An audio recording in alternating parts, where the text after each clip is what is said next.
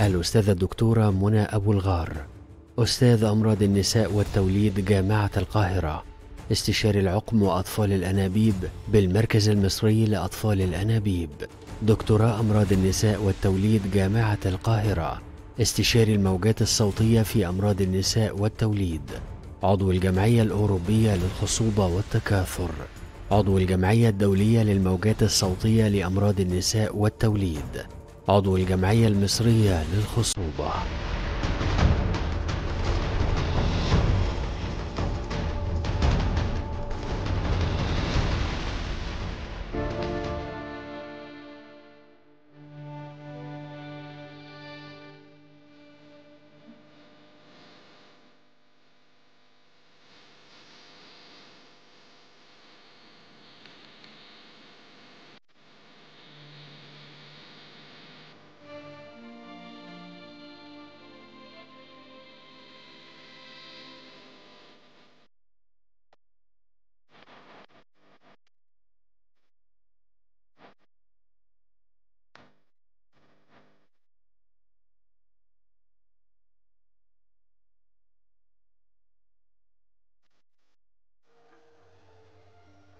أهلا بكم. النهارده يوم مهم جدا في عالم مهم جدا هو تأخر الإنجاب. كلمة وقعها تقيل فما بالكم لما أقول إن وقعها تقيل عليا وعليكم؟ فما الحمل والتقل على الأسرة على البنت اللي متجوزة وحلمها يكون أمومة إنها تكون أم. والموضوع عند الستات أكبر بكتير من عند الرجاله ولأن في بعض الرجال عندهم حلم الأبوة عالي جدا. لكن كل الستات كل الستات بلا استثناء حلم الأمومة عندهم حلم غالي. لما يتحرموا منه نسبيا أو جزئيا لفترة من الزمن هذه الفترة بتكون عصيبة جدا عليهم. في الوقت ده بيبقى حلمهم إن هم يلاقوا حلول. الحلول دي بتكون في منظومات المنظومة دي هي منظومة التعامل مع تأخر الإنجاب ومنظومة العلاج أو حل المشكلة سواء بأطفال الأنابيب أو الحل المجهري. ال couples دول مش couples مرضى بالمعنى المفهوم للمرض. يعني لا هم عندهم مشكلة في القلب ولا عندهم مثلا مشاكل في الضغط ولا عندهم لا قدر الله جلطه ما عندهمش مشكلة طبية اللي هي مشكلة emergency فبنقول عليهم كابلز هم مرضى. أنا في رأيي طبيا لازم يتحطوا تحت عنوان المرض لانهم بيتفحصوا فحص وبيتعامل معاهم كل البروتوكولات الخاصة بالمرض. لكن في الآخر هم عايزين يكونوا أب وأم. المشكلة عندهم إحساسهم أحيانا بإن الأمل قد يكون بعيد في بعض الأحيان أو قد يكون صعب. المنظومة اللي بيتعاملوا معاها هي اللي بتفرض عليهم أو بتديهم هذا الأمل. إحساسهم بالاطمئنان للمنظومة اللي بيتعمل فيها أقصى جهد ممكن من ناحية الكونسلنج الاستشارة والكشف الطبي التعامل مع التاريخ التعامل مع الحالة المرضية بشكل فيه من الاحترافية الكاملة. أيضا التجهيزات الموجودة في المكان بالكفاءة المتناسبة مع إمكانية إعطائهم أمل بشكل جدي وحقيقي. ده كله هنفهمه وإحنا بنتكلم عن واحدة من القلاع العلمية الموجودة في مصر المركز المصري لأطفال الأنابيب وتأخر الإنجاب. بلا شك فخر لينا أن يكون الحوار عن المركز المصري وأكيد الفخر بيبقى موصول لما يكون ضيفتي العزيزة. واحدة من قمم عالم تأخر الإنجاب وأطفال الأنابيب والحقل المجاري في مصر وفي الوطن العربي. ضيفتي العزيزة القيمة العلمية الكبيرة الأستاذ الدكتورة منى أبو الغار أستاذ أمراض النساء والتوليد وتأخر الإنجاب كلية الطب جامعة القاهرة استشاري تأخر الإنجاب وأطفال الأنابيب بالمركز المصري صاحب الدكتوراه أمراض النساء والتوليد واستشاري الموجات الصوتية أمراض النساء والتوليد وعضو جمعيات الأوروبية للخصوبة والتكاثر الإنجاب والجمعية الدولية للموجات الصوتية لأمراض النساء والتوليد والجمعية المصرية للخصوبة. أهلا بك يا دكتورة أهلا بحضرتك. سعيد جدا بهذه الزيارة العظيمة كالعادة. ميرسي لحضرتك. شكرا. عايزة أتكلم الأول عن كلمة تأخر الإنجاب. وقعها تقيل قوي على نفسية الكل. المرضى بيكون جاي لك أنا في رأيي أنتوا أكيد عندكم استشاري نفسي كمان. ده حقيقي ده حقيقي آه. هو تأخر الإنجاب التعريف بتاعه إن يكونوا زوجين آه، عايشين مع بعض بشكل متواصل ومش بيستخدموا أي موا- موانع لمدة 12 شهر آه، أو أكثر. آه، فاللي بيحصل طبعا إن هنا في مصر الناس بتقلق وموضوع الإنجاب وموضوع الحمل ده حاجة مهمة قوي. فبيبتدوا يقلقوا من بدري جدا. إحنا لو عارفين إن هو ده التعريف المفروض إن إحنا ما نقلقش وإن إحنا نصبر. إلا طبعا في حالات معينة لما بيكون معروف إن في مشكلة واضحة تأخر الإنجاب. دي دي الحالة اللي أنا بقول بقول لهم لأ ابتدوا افحصوا ابتدوا دوروا قبل 12 شهر. لكن غير كده هو 12 شهر يعني علاقة زوجية مستمرة بدون أي موانع. بعديها نقول إن ال- الزوجين دول عندهم تأخر في الإنجاب. آه، بي- الستات كتير بيجولك في توقيت غريب. يعني لذلك آه. السؤال يعني متى آه. نذهب؟ دي مهمة. آه مهم آه. جدا.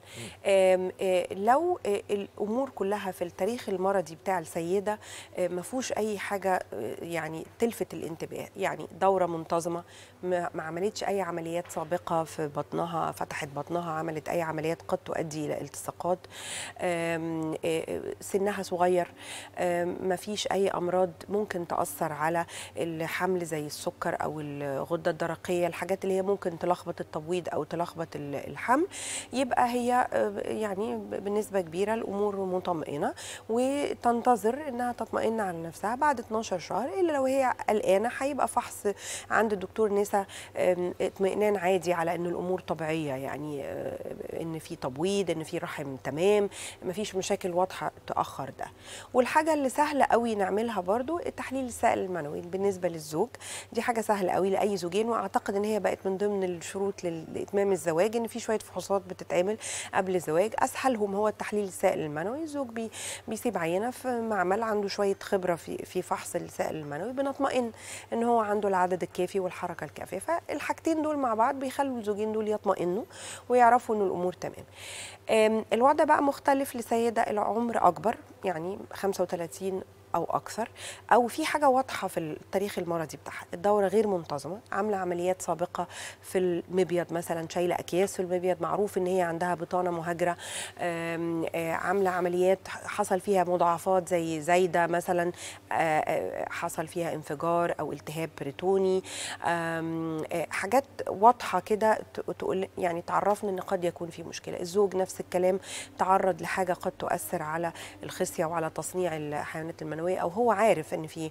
في مشكلة. دول طبعا لازم يبدأوا يستشيروا الطبيب أو المتخصص بدري شوية بعد بعد الزواج. السؤال إيه أسباب تاخر الانجاب يعني الأسباب الأساسية المشهورة عند الزوجة إن في خلل في التبويض التبويض مش مظبوط مش منتظم من أشهرهم طبعا آه، متلازمة تكيسات المبيض آه، أو إن يكون هي مخزونها قليل فالتبويض بتاعها ضعيف آه، يكون في مشاكل في الأنابيب قناة فالوب حصل فيها أي انسداد نتيجة لأي التهابات عمليات اتعملت قبل كده الرحم فيه حاجات يعني مشكلة جامدة زي ورم ليفي كبير داخل جوه تجويف الرحم. وبالنسبة للزوج طبعا هو ضعف الحيوانات المنوية أو عددها قليل أو حركتها ضعيفة أو الأشكال التشوهات فيها عالية أو ما فيش حيوانات منوية خالص لأن في سواء مشكلة في توصيل الحيوانات المنوية من الخصية للخارج أو الخصية نفسها مش بتصنع حيوانات منوية نتيجة لمشكلة ما. دي الحاجات ال- المشهورة. في حاجات عندنا اجتماعية الحقيقة. يعني إحنا مشهور قوي عندنا بالذات في الصعيد إن الأزواج بيسافروا مش موجودين. سنين طويلة الزوج مسافر وبيجي شهر في السنة.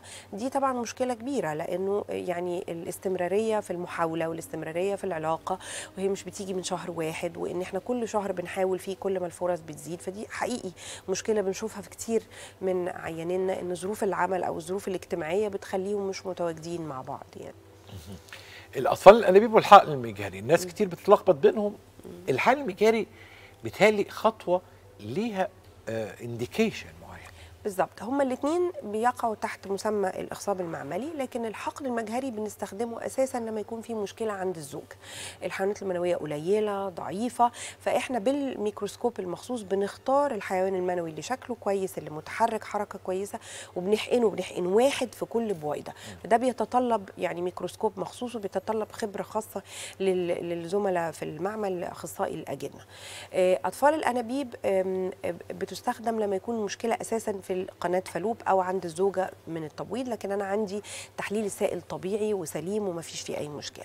في بعض الحالات آه، زي ال- التأخر غير معلوم السبب ودي حوالي 10% من الحالات. الحالات دي بنفضل إن إحنا نعمل حقن مجهري برغم إن ممكن السائل يبقى طبيعي والبويضات طبيعية لكن لأن لأنه ما فيش سبب معروف فأحيانا السيدات دول آه، نسبة الاخصاب فيهم بتبقى قليلة فبنفضل إن إحنا نعمل آه، حقن مجهري إن إحنا نحقن برضو الحيوان المنوي جوه البويضة. السؤال دايما الناس بت- بتسألك حضرتك عليه خطوات الحقن المجاري بتمشي إزاي؟ أول حاجة إن إحنا نقابلهم ونتكلم معاهم ونفهم منهم التاريخ المرضي بالتفصيل ونفحص نشوف كل الفحوصات اللي هم عملوها. آه، أي تحاليل بالذات هرمونات بالنسبة للسيدة يهمني قوي الهرمونات اللي بتعرفني مخزون المبيض بتاعها أخباره إيه. وحصل تطور كبير في التحاليل فدلوقتي بقى في تحاليل دقيقة أكتر بتتعمل في أي يوم من الشهر مش مش لازم في أيام معينة. دي بنعتمد عليها بدرجة كبيرة جدا. طبعا الفحص والموجات الصوتية بنعتمد عليهم بدرجة كبيرة جدا لأن أنا بقدر أطمئن على الرحم على تجويف الرحم على بطانة الرحم. بقدر أطمئن على البويضات آه، المبيض وعدد البويضات اللي فيها هيحصل استجابة كويسة آه، ولا الاستجابة هتحتاج نوع معين من البروتوكول عشان يحفز المبيض. آم، ممكن أطلب لو ما كانتش لسه تأكدت إن الأنابيب فيها مشكلة أطلب فحص للأنابيب سواء بالأشعة بالصبغه أو بالفحص في ال- بالموجات الصوتية في العيادة وتحليل السائل المنوي. دي الحاجات الأساسية اللي إحنا بنطلبها أو نحب إن إحنا نطلع عليها. فحصناها وشفناها ووجدنا إن في مشكلة في حاجة من دول وال والأهم بقى في كل ده هو سن السيدة سن الزوجة هو ده العامل الأساسي. فلو هي صغيرة في السن والأمور باينة إنها سليمة ممكن ننتظر شوية. لكن لو ابتدى ال- السن يعني عدى ال 35 مدة الزواج طالت جدا في سبب واضح يأخر الإنجاب زي التصاقات شديدة في الأنابيب زي مشكلة في التبويض وحاولت كذا مرة تاخد منشطات وتتابع تبويض وبرده ما حصلش حمل. مشكلة واضحة جدا في التحليل السائل المنوي إنه ضعيف لا يستجيب للعلاج مفيش حيوانات منوية ومحتاجين ناخد عينة خصية. خلاص بيبقى واضح إن ال- الزوجين دول محتاجين يعملوا أطفال أنابيب. آه، حددنا إن هم محتاجين بنقرر إيه البروتوكول اللي هياخده. هل هو هيبقى بروتوكول طويل ولا بروتوكول قصير؟ جرعة الحقن اللي هديها بتعتمد على سنها على وزنها على مخزون المبيض آه، بتاعها. وبنبدا أول استشارة أو أول فحص إن إحنا نطمئن إن ال baseline بتاعنا الأساس كده تمام. وبنبدأ يعني خطوات التنشيط. بتاخد كذا خطوة. متابعة التبويض طبعا دي أساسية. بيبقى في حوالي ثلاث أو أربع زيارات للمركز لمتابعة حجم البويضات وتطور ال- البويضة. وممكن نعمل مع الزيارة دي تحليل الدم. آه، وصلنا للزياره اللي بان فيها إن البويضات حجمها تمام إنه عددها كويس. بندي حقنة بتخلي يحصل تبويض و36 ساعة بعد الحقنة دي بنحدد ميعاد سحب البويضات. ده إجراء بسيط بيتم في أوضة العمليات ببنج بسيط بت بتفوق منه على طول وبتروح في نفس اليوم. عن طريق الموجات الصوتية المهبلية بيبقى في إبرة بتخش جوه كل حويصلة فيها البويضة. بنسحب السائل المعمل بيفحص السائل ده وبيقول للدكتور أو الدكتورة اللي بتعمل السحب إنه البويضة دي أو الحويصلة دي فيها بويضة.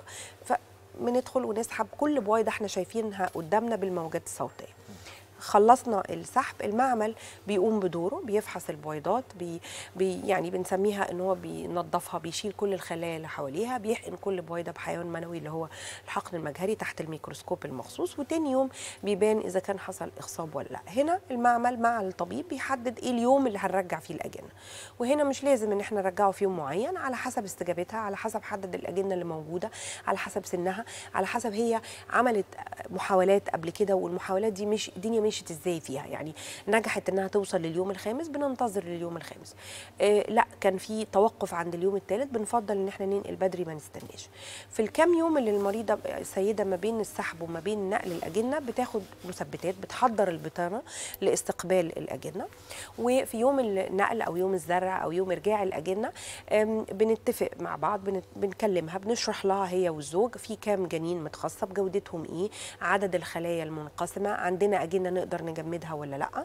وبيتم إرجاع الاجنه بقسطره رفيعة. أنا كنت شايفة في فيديو بيوري عملية ال- الإرجاع.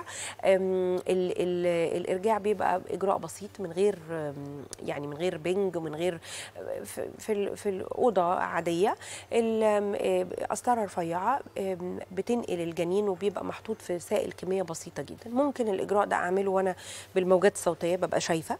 وممكن آه، آه، من غير على حسب خبرة الدكتور الدكتور وهو متعود على إيه. آه، بعد الإرجاع بننصح المريضة إن هي تمارس حياتها بشكل طبيعي. مفيش أي داعي إن هي ترقد في السرير وما تتحركش بالعكس عشان نفسيتها بنحب إن هي تتحرك عادي وتمارس حياتها طبيعي. بتمشي على المثبتات اللي إحنا نصحنا آه، بيها وبتعمل اختبار الحمل بعد أسبوعين. وبتبلغنا طبعا وبنديها التعليمات بقى ما بعد ال ال الاختبار. دايما الكلام عن نسبة النجاح يا جماعة بيعرفني المنظومة بتتكلم علمي أو مم. بتتكلم بشكل تجاري. فالعلم هو اللي إحنا سمعناه. الشكل التجاري بقى اللي أنتوا بتسمعوه أحيانا في. يعني أماكن كده ما مش عايزين نتكلم عنها خلينا نروح لحتة مهمة قوي هي تجميد الأجنة. متى نلجأ إلى تجميد الأجنة؟ آه، السيدة على حسب استجابتها وعلى حسب عمرها بنحدد هنرجع كم جنين ودايما على فكرة بنفضل إن إحنا نرجع عدد أقل من الأجنة مش عدد زيادة من الأجنة لأن إحنا بنخشى قوي من حمل التوائم.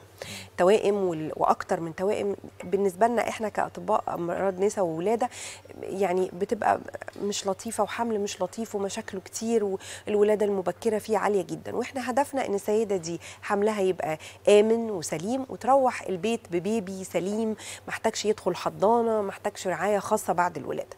فعلى حسب سن السيدة بننقل العدد اللي إحنا هنتفق عليه آه، وبأي حال من الأحوال لا يزيد عن ثلاث أجنة. بنفضل دايما إن هو يبقوا اتنين أجنة أو ممكن حتى جنين واحد لو السيدة آه، سنها صغير وحالتها ممتازة جدا. لو هي متخصب عندها أجنة أكتر من كده طبعا بننصحها إنها تجمد الأجنة. أم، الإجراء بتاع تجميد الأجنة أصبح دلوقتي آه، يعني التقنية بتاعته عالية جدا بتتم بشكل سريع في المعمل. ولما بنفك الأجنة دي بالتقنية الحديثة دي نسبة إن الأجنة تتأثر بالتجميد قلت جدا. يعني 5% فقط اللي بيفقدوا أو يتحللوا من التجميد. فبيتبقى عندي عدد كويس.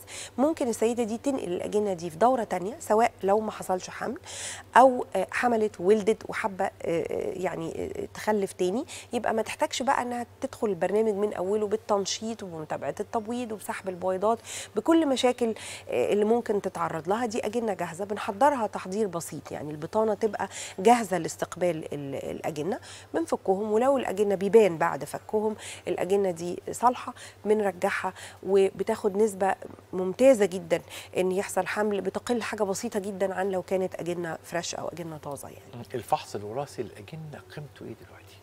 هو الحقيقة آه، يعني خدمة آه، إضافية أو تقنية إضافية آه، زادت يعني من الإنديكيشنز أو الدوافع اللي بتخلينا نعمل حقن مجهري الفحص الوراثي. عندنا أزواج كتير بيجوا لنا بالذات في مصر لأن زواج القرايب عالي قوي عندنا في مصر. بيجوا الأسرة عندها طفل واثنين وثلاثه مصابين بمرض وراثي لأن الأب والأم حاملين لمرض. طبعا بيجوا غالبا كشفوا كتير جدا وعدوا على أخصائي الوراثة وقدرنا نشخص عرفنا المرض ده إيه فبيجوا لنا علشان إحنا نساعدهم. وده بيتم عن طريق إنها تمر بتجربة الحقن المجهري كاملة. لكن قبل ما ننقل الأجنة آه، بناخد خلية من الجنين المنقسم ده والخلية دي بتتبعت لمعمل الوراثة. الجنين نفسه بيجمد علشان ننقله بعد ما الفحص الوراثي يتم لأن ده بياخد شوية وقت. الفحص الوراثي بيتم طبعا في معمل متخصص عارف مسبقا إيه الحالة؟ إيه المرض؟ ومجهز مسبقا ال- الحاجات الكيماويات اللي إحنا هنفحص بيها الخلية دي. فنقدر إن إحنا نفحص الجنين ده ونعرف هو مصاب غير مصاب حامل للمرض. فأنا أرجع أجنة ما عندهاش المرض الوراثي. لو السيدة دي حملت لو الأجنة دي غرزت والسيدة دي حملت فهي بتحمل في طفل سليم ما عندوش المرض اللي هي طبعا بتعاني منه هي وأسرتها يعني. المركز المصري قدم خدمة على مدار سنوات طويلة لأشقائنا في الوطن العربي. السياحة العلاجية في عالم أطفال الانابيب وتاخر الانجاب إحنا روادها. وما شاء الله. أنتوا لكم دور كبير ده جدا في تنميتها. وتقويتها. هل تتمني إنه نعمل آه، نوع معين من ال- التوجه من البروتوكولات في أي معوقات تحب إن أنت لازم تزال عشان تستمر رسالة السياحة العلاجيه آه، آه، طبعا مهم إن هم يعرفوا إن إن إحنا موجودين أو إن مصر فيها مراكز أطفال أنابيب يعني بتقدم تقنية وبتقدم نتائج ممتازة. آه، الميزة في مصر بالنسبة لهم إنها قريبة وإنه آه، الأسعار يعني بالنسبة لأوروبا وأمريكا طبعا آه، يعني لا تقارن. الفرق ال- أو الحكاية بتاعت العملة دي خدمت القطاع الطبي. بدون شك ف... ومستوى ال- ال- ال- المراكز المراكز ومستوى العلم والخدمة اللي بيقدموها آه، آه، يعني زي أوروبا وزي أمريكا فدي حاجة مهمة قوي آه، هم يعرفوها. وطبعا إحنا شفنا ده في السنين اللي فاتت مع الكوفيد ومع مشاكل الحروب المختلفة اللي في المنطقة. ودي حاجة طبعا آه، يعني مهمة وممتازة لأن بنسهل عليهم يعني مشوار العلاج يعني. أنت نورتي وشرفتي وأبدعتي كعاداتك وشكرا جزيلا على هذه الزيارة وتلبيتك للدعوة. والشكر موصول طبعا لأساتذتنا الكبار الاستاذ الدكتور محمد أبو الغار والاستاذ الدكتور جمال أبو السرور وطبعا نتذكر الأستاذ الدكتوره رجاء رحمها الله بكل الخير الدكتوره رجاء منصور. والمركز المصري هيقدم وسيقدم ويعني تاريخ علمي رائع وحاضر علمي مذهل ومستقبل يعني مبني على آه، ركائز قوية جدا. فما شاء الله أنا شاكر جدا لهذه. التلبية. ولوجودك معنا دائما وأتمنى إنه الجمهور العربي كله يستفيد من هذا العلم وهذا الأداء المهني الراقي جدا. ضيفتي العزيزة القيمه العلميه الكبيرة الأستاذ الدكتورة منى ابو الغار أستاذ أمراض النساء والتوليد كلية الطب جامعة القاهرة استشاري أطفال الأنابيب والحقل المجهري بالمركز المصري وصاحب الدكتوراه أمراض النساء والتوليد واستشاري الموجات الصوتية في أمراض النساء والتوليد وعضو الجامعات الأوروبية والدولية والمصرية للخصوبة وتأخر الإنجاب والموجات الصوتية. نورتي وشرفتي أشكرك. وأبدعتي كعادتك. أشكرك. خليكم دايما مع ناس حلوة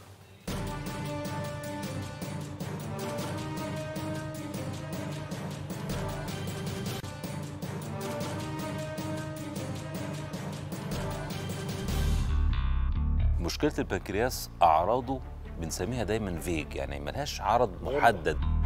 أبرام البنكرياس. البنكرياس عموما ما حدش يعرف عنه حاجة. تشخيصه إن إحنا نقول ينفع له عملية فعلا اتطورت جدا جدا مش هيدي أعراض غير ما يوصل لحجم كبير قوي وبالتالي في الغالب بيتشخص متأخر قوي. عشان أستأصل المنطقة صعبة شوية والعملية تبان إنها تخوف شوية. لكن نسبة نجاحها دلوقتي تتعدى ال 95%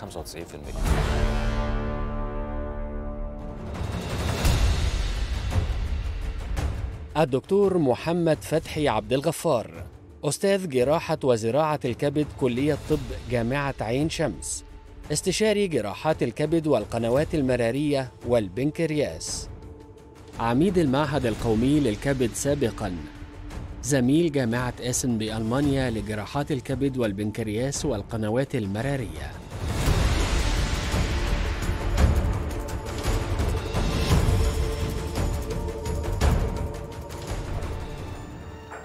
أهلا بكم. واحدة من أرقى حلقاتنا على الإطلاق سواء في الناس الحلوة أو الدكتور هي الحلقة أو الجزء القادم. بلا شك آه، نوع معين من العلم هو الأرقى الأكثر تفصيلا والأكثر كمان يعني قربا ل آه، آه، الكبيرة في عالم الجراحة جراحة البنكرياس. فالنهاردة هتستمعوا لحوار خاص زي ما أنا قلت لكم على أرقى مستوى. ضيف من يعني من الضيوف اللي بنفتخر بوجودهم في الناس الحلوة بنسعد جدا في استقباله لأن إحنا بنبقى قدام قيمة جراحية على أرقى مستوى مش بس في مصر في الوطن العربي واسم عالمي قدير بيبقى دائما آه، يعني وجوده في الإعلام إضافة هائلة أكيد لأنه نقلة لأرقى أنواع الجراحات والأساليب الجراحية إلى الشاشة بشكل مباشر. ضيفي العزيز القيمة العلمية الكبيرة الأستاذ الدكتور محمد فتحي عبد الغفار أستاذ جراحات وزراعة الكبد الأستاذ بكلية الطب جامعة عين شمس زميل جامعة أيسم ألمانيا لجراحات الكبد والقناه المراريه وعميد معهد الكبد السابق. ضيفي العزيز القيمة الجراحية القديرة أهلا بك يا أستاذ. أهلا بحضرتك. السؤال الأول كلمة العنوان. يعني إيه ما نقول أس... أول مرة نقترح هذا العنوان. أسرار النجاح ماذا نقصد به؟ آه، عملية الورم رأس البنكرياس بالذات عملية كبيرة. اللي بيسموها الويبل. لما نشرحها للناس الحاجات اللي بنشيلها يعني دايما العين بعد ما أشرح له العملية يقول لي طب وهيبقى إيه؟ وأنا هعيش إزاي؟ لكن لما نعرف إن نسبة نجاح العملية دي تتعدى 90% 95% نجاح العملية معنى نعمل العملية ومعنى إن يخرج بالسلامة إن شاء الله. 95% آه. ده ده, ده, تتفا... ده تقترب من إيه؟ من المرارة من ال... يعني من ال- الحاجات ال- يعني. آه. آه. بس عشان نوصل للرقم دوت الحقيقة محتاج شغل كتير قوي. يمكن نقسمه حاجات هنعملها قبل العملية. pre-operative آه. وحاجات جوه العملية. operative وحاجات بعد العملية. post-operative الجراحة كلها. هي ما قبل pre عملية operative ما بعد post-operative. آه. ما قبل العملية آه، إحنا بنتعامل مع آه، مريض عنده ورم. وبالتالي نقطة مهمة قوي إن ما ننساش إن إحنا مريض عنده ورم. في ناس بتبص للورم. يعني كتير بيجي لي أهل المريض يقول لي إحنا مش عايزين نقول له فجايبين لي الأشعاعات بس أو التحاليل بتاعته. ده ينفع يتعمل له عملية ولا لأ؟ البداية دي مش صح. لازم أتعامل مع شخص على بعضه. يعني ممكن تبقى الأشعاعات والتحاليل تقول إن ينفع يستحمل العملية ولكن العيان generally بصفة عامة حالته العامة ما تتحملش العملية. بره في حاجة اسمها performance state وليها score معين. دي السن بتاعه والحاجات ضغط والسكر والحاجات أرقام بنحسبها. بحيث إنها في الآخر أقول المريض ده يتحمل هذه العملية فعلا بصورة آمنة ولا لأ. ودي نقطة مهمة قوي. ساعات بتبقى آه، آه، يعني مزد مننا كده كدكاترة إن أنا بتعامل مع المرض مش مع المريض بس. لا دي العمليات الكبيرة لازم أقيم الورم وأقيم المريض وأقيم العملية وأنا عارف جوه العملية إيه اللي هيحصل. يعني أنا متوقع من حجم الورم ده أنا هعمل إيه جوه العملية. فهل المريض هيتحمل الحاجات اللي بقولها دي ولا لا؟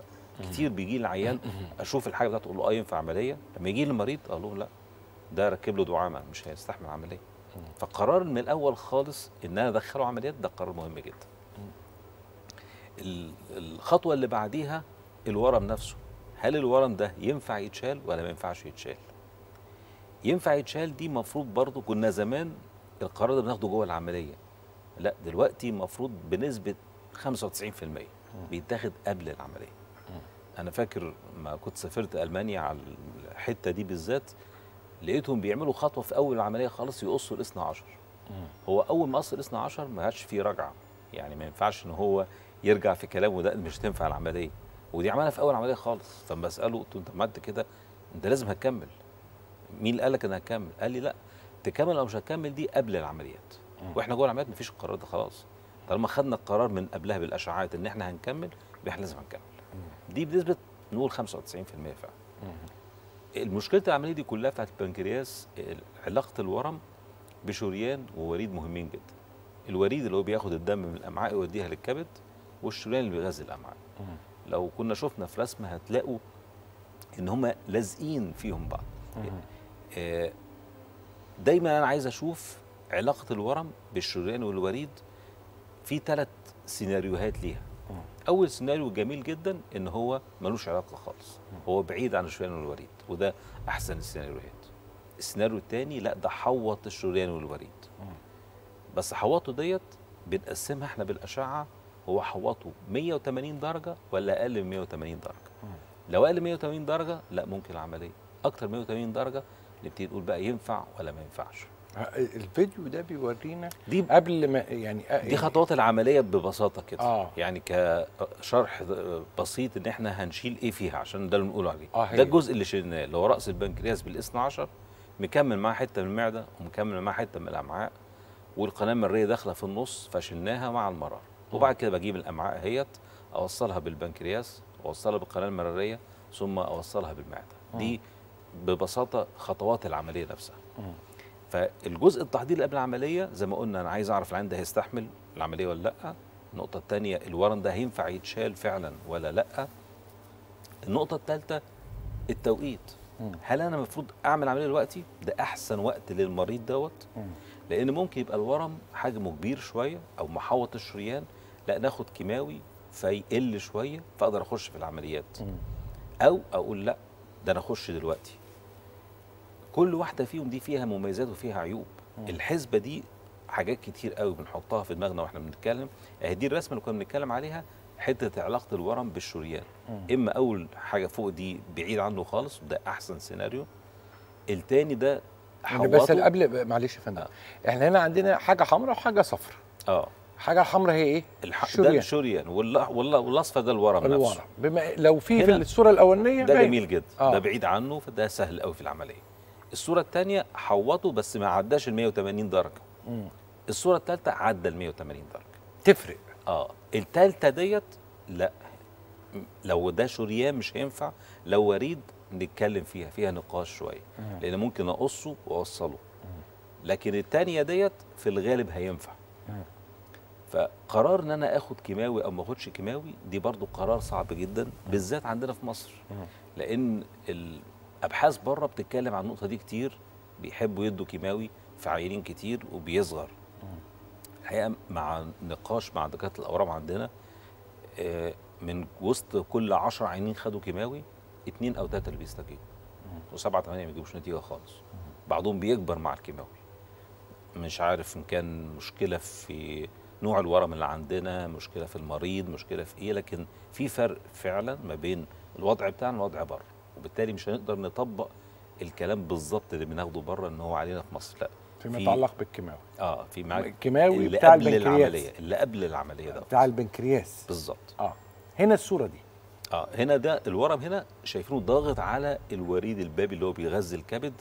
آه يكاد يكون قافله أكتر من 50% اللي هو الورم اللي هي الحته الصفراء الحتة الصفراء آه اللي في النص دي في بالظبط. في, ضغط على. البنكرياس ده ضغط. على الأزرق. آه بالظبط. ده الوريد اللي بياخد دم من الأمعاء ويوديها إلى الكبد. دي من ضمن الصور صعبة شوية عندنا في العملية. ليها تكنيك ويمكن نشوفه أثناء العملية نفسها. الورم طبعا الأصفر بيتكتب عليه حرف T اختصار tumor بالظبط.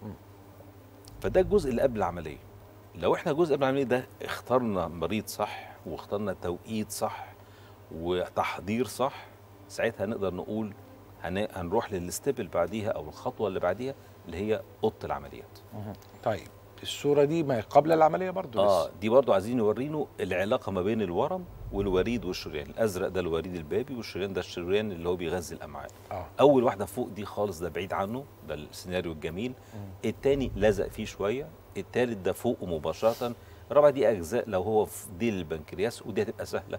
لأن هي بعيدة عن الوريد والشريان دي كلها قبل العملية. ده كل ده قرارات بناخدها قبل العملية بناء على الاشعاعات بندرسها. باحتمالاتها كلها بنشوفها الصور دي حتى كمان يعني الأشعة المقطعية آه، أنا مثلا لازم أقول للمريض هات لي السي دي بتاع الأشعة المقطعية. مش مجرد الأفلام لأن العادي إن العين بيتصور مثلا 3000 صورة هو بيطبع من 3000 دي 100 مش لازم يكون الصورة اللي أنا عايزها موجودة في المية دول. لأن أنا ال- المقطعية دي عبارة عن مقاطع. أنا عايز أشوف في كل مقطع فعلا الشريان فين والوريد فين. ممكن أنا وأنا بمشي الصور كده الاقي صورة لا مزنوق في الحتة دي يبقى عارف ان أنا جوه العملية في حتة هيبقى الورم داخل في الوريد أو الشريان. فعشان كده عمرنا ما نعتمد على تقارير أشعة ويفضل لازم يبقى معايا السي دي بتاع الأشعة وتقعد تدرسها. يعني نحتاج نتفرج وقت عليه. ساعات بقول للمريض سيب لي السي دي وتعالى لي المرة الجاية هقول لك هينفع عملية ولا لا؟ لأن أنا عايز أقعد نص ساعة أدرس الأشعة دي لوحدها. عشان أقدر آخد قرار صح فيه. ده كل ده ما قبل العملية. لما نخش جوه بقى العمليات إيه الأسرار بتاعتها؟ هي حاجتين جراح وتخدير. والتخدير ده دور مهم جدا جدا أكتر ما ناس كتير متوقعة. يعني أنا ما أقدرش أشتغل غير مع أشخاص معينين. هم فاهمين إحنا عايزين إيه في العملية دي بالذات. العملية دي بتطول. بناخد أربع ساعات لو عملية سهلة قوي ثمان ساعات لو صعبة فمتوسط نقول ست ساعات. المشكلة إن لو العيان ده خد محاليل في الست ساعات دي كمية على آخر العملية ألاقي الأمعاء فيه تخينة من كتر المحاليل اللي خدها. وبالتالي التوصيلات اللي أنا هعملها اللي هي في آخر العملية مش تبقى مظبوطة لأن أنا بوصل في جدار تخين. بعد شوية الجدار ده هيرفع لما المية تروح منه يحصل تسريب. فمين يقدر بقى يظبط لي القصة دي؟ ده دكتور تخدير شاطر جدا جدا. إنه محتاج يدي العيان أقل كمية محاليل ما تعمليش مشكلة وتحافظ على الكلى وتحافظ على ضغط العيان فميزان صعب جدا مش أي حد بيعرف يعمله. عشان آه. كده ساعات بقول لهم لأ العملية دي بالذات لازم هعملها في المكان الفلاني مع التخدير الفلاني. مع حافظ. يقول لي طب ما أصل في دكاترة كويسين ده أقول له لأ أنا عارف أنا بقول لك إيه لأن دول هو اللي هيقدر يريحني أنا كجراح لغاية آخر العملية. الناس ما تبقاش واخدة بالها إن ممكن التخدير يبوظ لي أنا العملية. البالانس ما بين ال- ال- إن أنا هدي محاليل سوائل قد إيه؟ قد آه. إيه تحافظ على ضغط العيان وفي. نفس الوقت ما تعملش حمل. بالظبط. ودي قد تبدو إنها حاجة سهلة لكن هي في تنفيذا في منتهى الصعوبة ومحتاجة أجهزة ومحتاجة خبرة كبيرة جدا من دكتور التخدير ده. فده جوه اوضه عمليات التخدير ده نمرة واحد. الجزء الثاني الجراح نفسه. الجراح لازم يبقى عنده شوية حاجات. أول حاجة هو هيشيل الورم. لما هيجي يشيل أنا محتاج منه حاجتين في شيله. يشيله بطريقة آمنة ويشيله كاملا صح. كلام يبدو سهل بس هو وراها حاجات كتير قوي. كلمة آمنة ديت يعني هو يقدر يعرف إن هو يعمل توصيل لوريد البابي لو قصه يرجعه تاني. لو الورم ماسك فيه أقدر أقصه. ال- الحالة دي مثلا ده كان ورم في راس البنكرياس ماسك في الوريد البابي. الطريقة هنقص الوريد البابي بالكامل ونعمل نوصله حتتين في بعض تاني بعد ما كنا قصينا الجزء ال- من الوريد البابي اللي ماسك في الورم المشكلة إن عشان كده بقول لهم دايما ما حدش يشتغل العملية ديت غير شخص يقدر يتعامل بخبرة كبيرة في الوريد البابي وفي الشريان. يعني مش إن هو يعرف يوصله بس لا ده أنت لازم تكون وصلته 200 300 مرة قبل كده. لأن انت مطلوب منك في العملية دي لما توصله ما تاخدش أكتر من 10 دقائق لأن الامعاء مش هتستحمل ان أنا قافل الدم عليها فترة طويلة. أنا محتاج مش إن أنا أعرف أوصله بس لأ أعرف أوصله وبسرعة وبطريقة مظبوطة. عشان كده الجراح في الحتة دي مهم جدا جدا. حتة إن هو هيشيله بصورة آمنة دي الجزء ال technical بتاعه. الحاجة التانية الورم بيبقى دايما لازق قوي في الوريد والشريان زي ما قلنا. لما أجي أشيله في ناس كتير بيروح خايف من الوريد والشريان يحصل لهم حاجة فيروح قاصص الورم من جنبه. الحتة اللي بتتساب دي أكتر سبب لارتجاع الورم. عشان كده عشان نشيله ده أنا لازم آخد الود والشن وأحدفهم شمال خالص بعيد وأقص من تحتيهم. مش هتقدر تعمل الحركة دي إلا وأنت مطمن إن لو حصل مشكلة هتعرف تتعامل مع المشكلة ديت. فدي الجزء الشيل نفسه المهم قوي الجزء الثالث الأخير في العملية هو التوصيلات. التوصيلات زي ما قلنا جزء منها هيعتمد على التخدير إن هو ريحني إن اداني الأمعاء بدايتها زي نهايتها بداية العملية زي نهاية العملية. ال- السر التاني اللي هقوله ويمكن دكاترة كتير مش مقتنعين بيه أو يعني في ناس كتير ما تاخدش في دماغها الحتة دي إيه أهم توصيلة في العملية؟ كل الناس عارفة إن أخطر توصيلة هي توصيلة البنكرياس. الحقيقة لأ أنا في رأيي إن أخطر توصيلة القناة المريه مش البنكرياس. على الرغم من الأصعب البنكرياس طبعا. بس هي الفكرة لو عيان حصل له تسريب في قناة البنكرياس لوحدها في الغالب هيعدي مش هيحصل حاجة. لكن لو حصل تسريب في قناة البنكرياس وتسريب من القناة المرارية العصارة الصفراوية لما بتيجي على عصارة البنكرياس بتعمل لها activation يعني بت... بتعمل لها- بيحصل تفاعل تنشيطي. آه تنشيط ليها. فساعتها هيروح واكل كل الأنسجة آه، ومبوظ نار. كل التوصيل. تحول لمية نار. بالظبط. وساعتها مش هتبقى مش هينفع تسيطر عليها.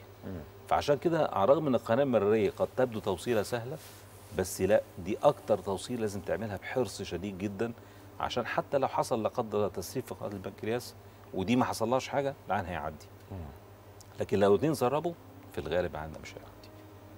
فدي الحاجات التكنيكال اللي إحنا أو الحاجات الصغيرة اللي إحنا نهتم بيها قوي في العملية دي ودي من ضمن أسرار نجاح العملية ديت. توصيلات؟ بدقة التوصيلات دي كلمة مهمة جدا. توصيلات إن أنا هوصل الأشياء التي قد قطعت. بالظبط. سواء القناة البنكرياس اللي لو رجعنا لفيديو المبسط لفكرة العملية إحنا شلنا وفي جزء من آه، آه، قناة البنكرياس هتبقى موجودة. بالظبط. لازم ناخد تتوصل. أمعاء نوصلها. آه. طبعا التكنيكس بتاعتها مش هنخش فيها لكن ليها آه، يعني طرق كتيرة. يمكن أفضل طريقة بتوصل زي أربع طبقات. الفكرة برضو وإحنا شغالين بتحتاج لازم خيوط معينة. بتحتاج كميات كتيرة قوي بجودة عالية قوي من الخيط لأن أي محاولة توفير في العمليات ديت نتيجة كارثية. العمليات الكبيرة دي ما ينفعش نص نص. آه. لازم تتعمل كويسة. يعملها مجاني في الدمرداش ما عنديش مشكلة. يعملها برة بس هتبقى بفلوس كتير شوية آه بس لأن ما تستحملش إن أنت توفر في الحاجات دي خالص. ما ينفعش أقول بقى أنا هجيب خيط بالظبط. آه آه، مثلا آه يعني ما ينفعش. أو آلات نص ونص أو تخدير نص ونص الكلام ده كله نتائجه كارثية. فالعين يقدر لازم تحط أفضل خدمة طبية للعيان ده. كفاية إن العملية كبيرة ما تحاولش تصعبها على نفسك بحاجات تانية. هي ويبل أشهر عمليات في كتب الجراحة.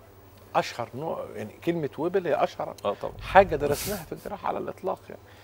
ال- ال- العملية اذا ده إحنا كده خلصنا كل الأسرار ولا لسه فاضل؟ آه كده نقول جوه العملية. آه. بعد العملية الأمور بقت سهلة شوية.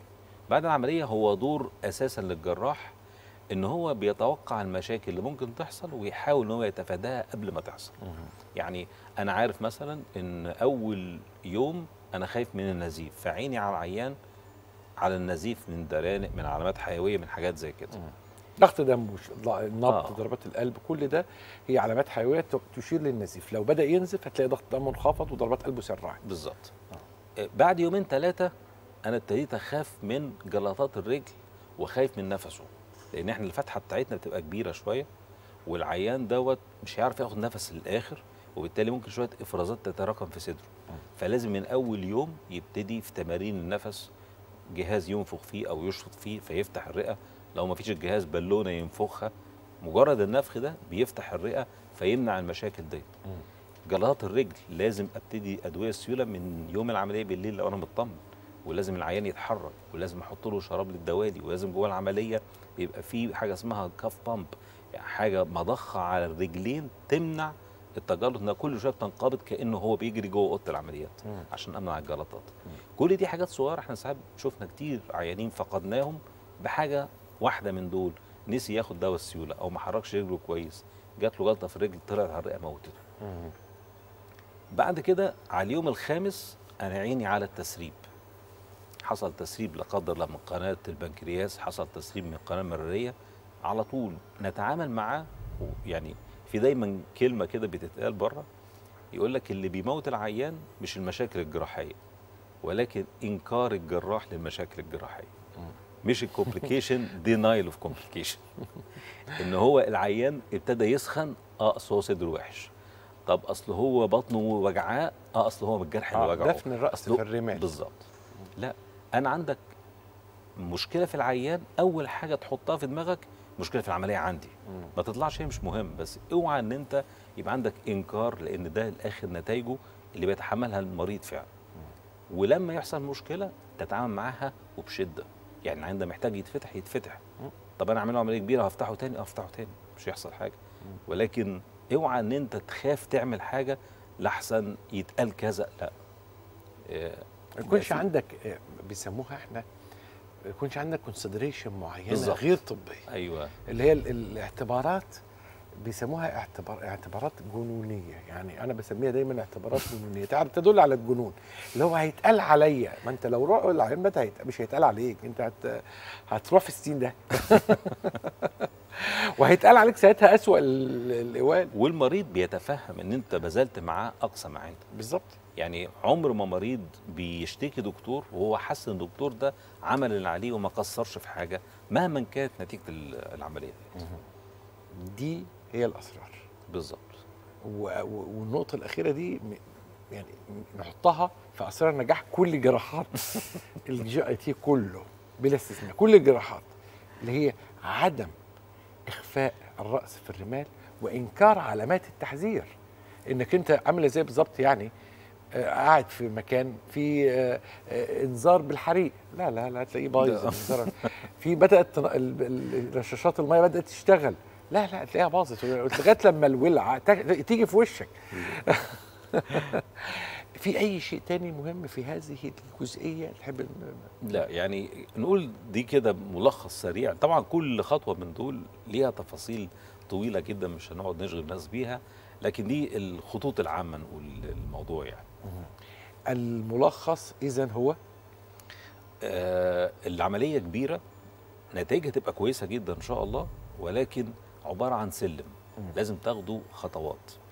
لو نطيت سلمتين هتتكعبل وهتكعبل العين معاك. فامشي خطوة خطوة كل خطوة تاخد حقها لآخرها نوصل إن شاء الله للسلام.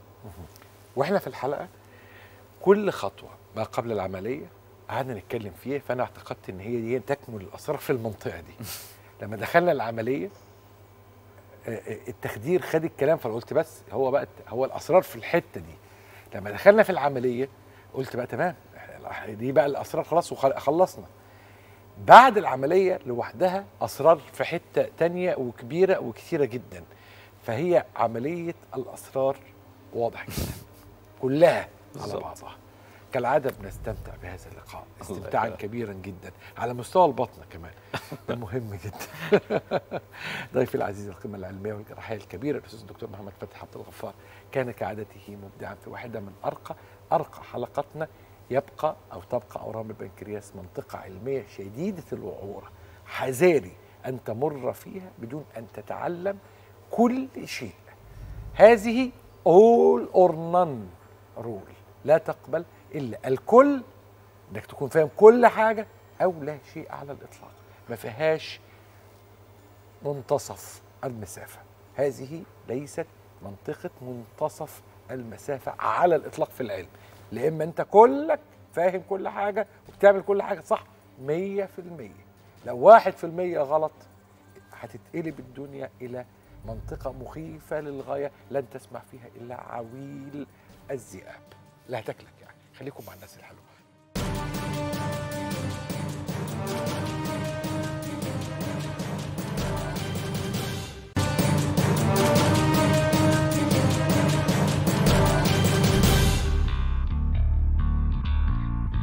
آمل الحمل آمل. جميل جدا. والست بطبيعتها أكتر من الراجل تحب تكون أم. كل ما زاد سن المريضة كل ما قل فرص الحمل بالحقن المجهري ومع ذلك في مرضى بنعمل لهم الحقن المجهري في سن متقدم شوية وربنا بيكرمهم بالحمل. الست من أول ما بتتولد لحد ما بتقطع الخصوبة عندها ربنا بيديها عدد معين من البويضات بتقعد تستهلك على مدار السنين. دي ينفعش إن أنا أنا كاستشاري نساء عمال بتابع السيدة بس وما معيش مثلا استشاري ذكوره يتابع الزوج ده لما يكون عنده مشكلة. أنا في الآخر مهمتي إيه؟ إن السيدة دي تحمل. أنا ما أجيش بقى أعمل حاجة اقضي لها بيها على الخلفة.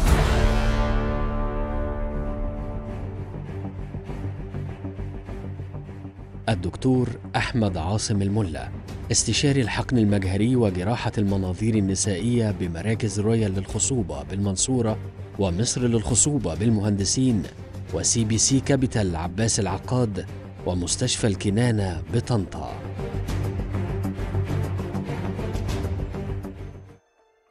أهلا بكم النهارده يوم مهم جدا في عالم النساء وعالم تأخر الإنجاب. وكلمة مهمة اسمها تكيس المبايض في ثلاث نقط عايز أكلمكم النهارده فيهم عن تكيس المبايض قبل ما ندخل في معمعة الحوار. أول حاجة كتير من الناس فاكرين اللي عندهم تكيس مبايض مش هيخلفوا أو بيخلفوا بصعوبة. هو صحيح الخلف بتاعتهم ساعات فيها مشاكل لكن في حالات كتيره بتحمل حمل طبيعي ومفيش أي حاجة وبتكمل حملها الطبيعي. دي أول معنى. المعنى التاني إنه في ناس برضو عندها اعتقاد علمي شبه صح إن اللي عندهم بال- في المبايض عندهم سمنة أو لازم يكون عندهم سمنة. لا في حالات تكيس مبايض ما عندهمش سمنة جسمهم طبيعي أو حتى يعانوا من نحافه ودي مش هيبقى اسمها متلازمة. هيبقى اسمه مرض تكيس المبايض سيبكم من التسميات. في علاقة وثيقة جدا كمان. المعلومة الثالثه بقى إنه في connection كوبري كده ما بين تكيس المبايض والقلق. القلق جزء من المتلازمة ده لقوا كمان إنه الستات اللي عندها تكيس مبايض لما بتخلف ولادهم بيطلعوا عندهم قلق انكزايتي فده علاقة وثيقة بقى بين الجنين لست عندها تكيس وما بين حالته النفسية بعد كده. دي دراسة مهمة جدا. لكن خليني أقول لكم إن تكيس المبايض دلوقتي بقى أقدر أقول لكم إيه؟ موضوع العصر بقى هو اللي فرض نفسه بقوة شديدة جدا في الحوار قوي جدا تواجده في المجتمع العربي ومشاكله كتيرة وبقى في تأخر الإنجاب بيفرض علينا كتير إحنا لا لجأ للحقن المجهري بس عندهم مشكلة في حاجات تنشيط وموال كده ويعني زي ما تقول معادلة غريبة لازم هتنشط بس أنت خايف من فرط تنشيط والست عندها اوريدي زيادة في في ال الحالة الهرمونية فالكلام في تكاسل المبايض كلام مهم جدا. النهارده حوار مهم جدا مع ضيفي العزيز الذي يبدع جدا في حواره دائما في عالم تأخر الإنجاب. ضيفي العزيز الأستاذ الدكتور أحمد عاصم الملا استشاري الحقل المجاري وجراحات المناظير النسائية بمركز رويال منورني وسعيد جدا بهذه الزيارة. دكتور أهلا وسهلا بحضرتك يا دكتور أيمن وأنا سعيد بتواجد مع حضرتك ومع مشاهدينا دايما. وطبعا حضرتك اتكلمت فعلا على موضوع يمكن بنشوفه كتير خصوصا في مصر. هنقول خصوصا في مصر ليه؟ لأن إحنا في مصر تقريبا عندنا عادات غذائية غير صحية كتير وبالتالي في سيدات كتير عندنا من المصريات بيعانوا من السمنة والسمنة دي من الحاجات برضو اللي بنشوف فيها حالات كتيرة من حالات تكيس المبيضين أو تكيسات المبيضين. هي المشكلة في تكيسات المبيضين إن هي على قد ما هي بتعمل ضعف للتبويض زي ما قلت لحض- لحضرتك حالا في الكلام إن فيها مضاعفات برضو أثناء تنشيطنا وأثناء تحضيرنا وبالتالي ليها تحضير معين وليها تنشيط معين وليها بروتوكول معين حتى عندنا في الحقن المجهري يعني بالذات مرضى التكيسات دول إحنا بنبقى عينينا عليهم قوي في الحقن المجهري إزاي نحضرهم وإزاي نجهزهم صح للحقن المجهري اولا الست اللي عندها تكيسات هي يعني هنقول الأول تشك وهي جاية لي منين هي هتشك لما تلاقي عندها بدأ يحصل لها حاجة اسمها اختلال في ال period أو الدورة بتيجي مش منتظمه ساعات يا دكتور بيطلع لها بعض الشعر الزايد في الجسم في الاماكن هي مش متعودة عليها زي الدقن كده ممكن يطلع شوية line. على الدقن ممكن يطلع حوالين السرة هو. ال middle line ال middle line. هو ال- الخط المنتصف في الجسم ده أخطر أنواع الشعر يطلع في الست تمام. فهي بتبتدي تشك. هتجيلنا هنقول لها دي من علامات التكيسات بس هنؤكد إزاي هنعمل لحضرتك ultrasound أو سونار مهبلي. هنشوف فيها شكل التكيسات بالسونار المهبلي وشكلها من الحاجات الواضحة جدا ومعروفة زي ما حضرتك شايف دلوقتي معانا على الشاشة. هو ده شكل التكيسات. عارف حضرتك إحنا بنشبهها بشكل العقد كده اللي هو بيبقى له فصوص وبيبقى جواه بيبقى زي إيه مفرغ كده. انما له الفصوص اللي هي الدوائر السمراء دي اللي هي البويضات لو حضرتك بصيت هتلاقي عدد بويضات كتير. أكتر من الطبيعي اللي إحنا بنتكلم كنا بنقول خمسة ستة في كل مبيض. لا ده ممكن توصل 16 20 في كل مبيض. طب هي دي حاجة حلوة ولا وحشة؟ هي حاجة مش حلوة قوي. هو مش آه pattern necklace pattern ده اللي هو آه وغير كده إن دول مشكلتهم بيبقى عندهم ضعف بقى تبويض مش ضعف مخزون لا ده بالعكس دول بيبقوا مخزونهم زايد. يعني دي لما آجي أعمل لها تحليل كنت اتكلمت حضرتك عليه قبل كده اللي هو تحليل مخزون المبيض. ال AMH بيطلع أكتر من ثلاثة وفي ناس آه. يطلع أكتر من خمسة وستة وفي ناس أكتر من عشرة وناس والله شفناها أكتر من عشرين. دي بتبقى إيه؟ أنت شايف فيها أنترا الفولك الكاونت أو مقدمات بيضات؟ كتيرة جدا وتلاقي المبيض لوحده من غير ما تنشطه واصل له 6 7 سم أو 8 سم لوحده وأنت ما نشطتش. تخيل بقى المريضة دي أنت داخل تنشطها الحقن مجهري.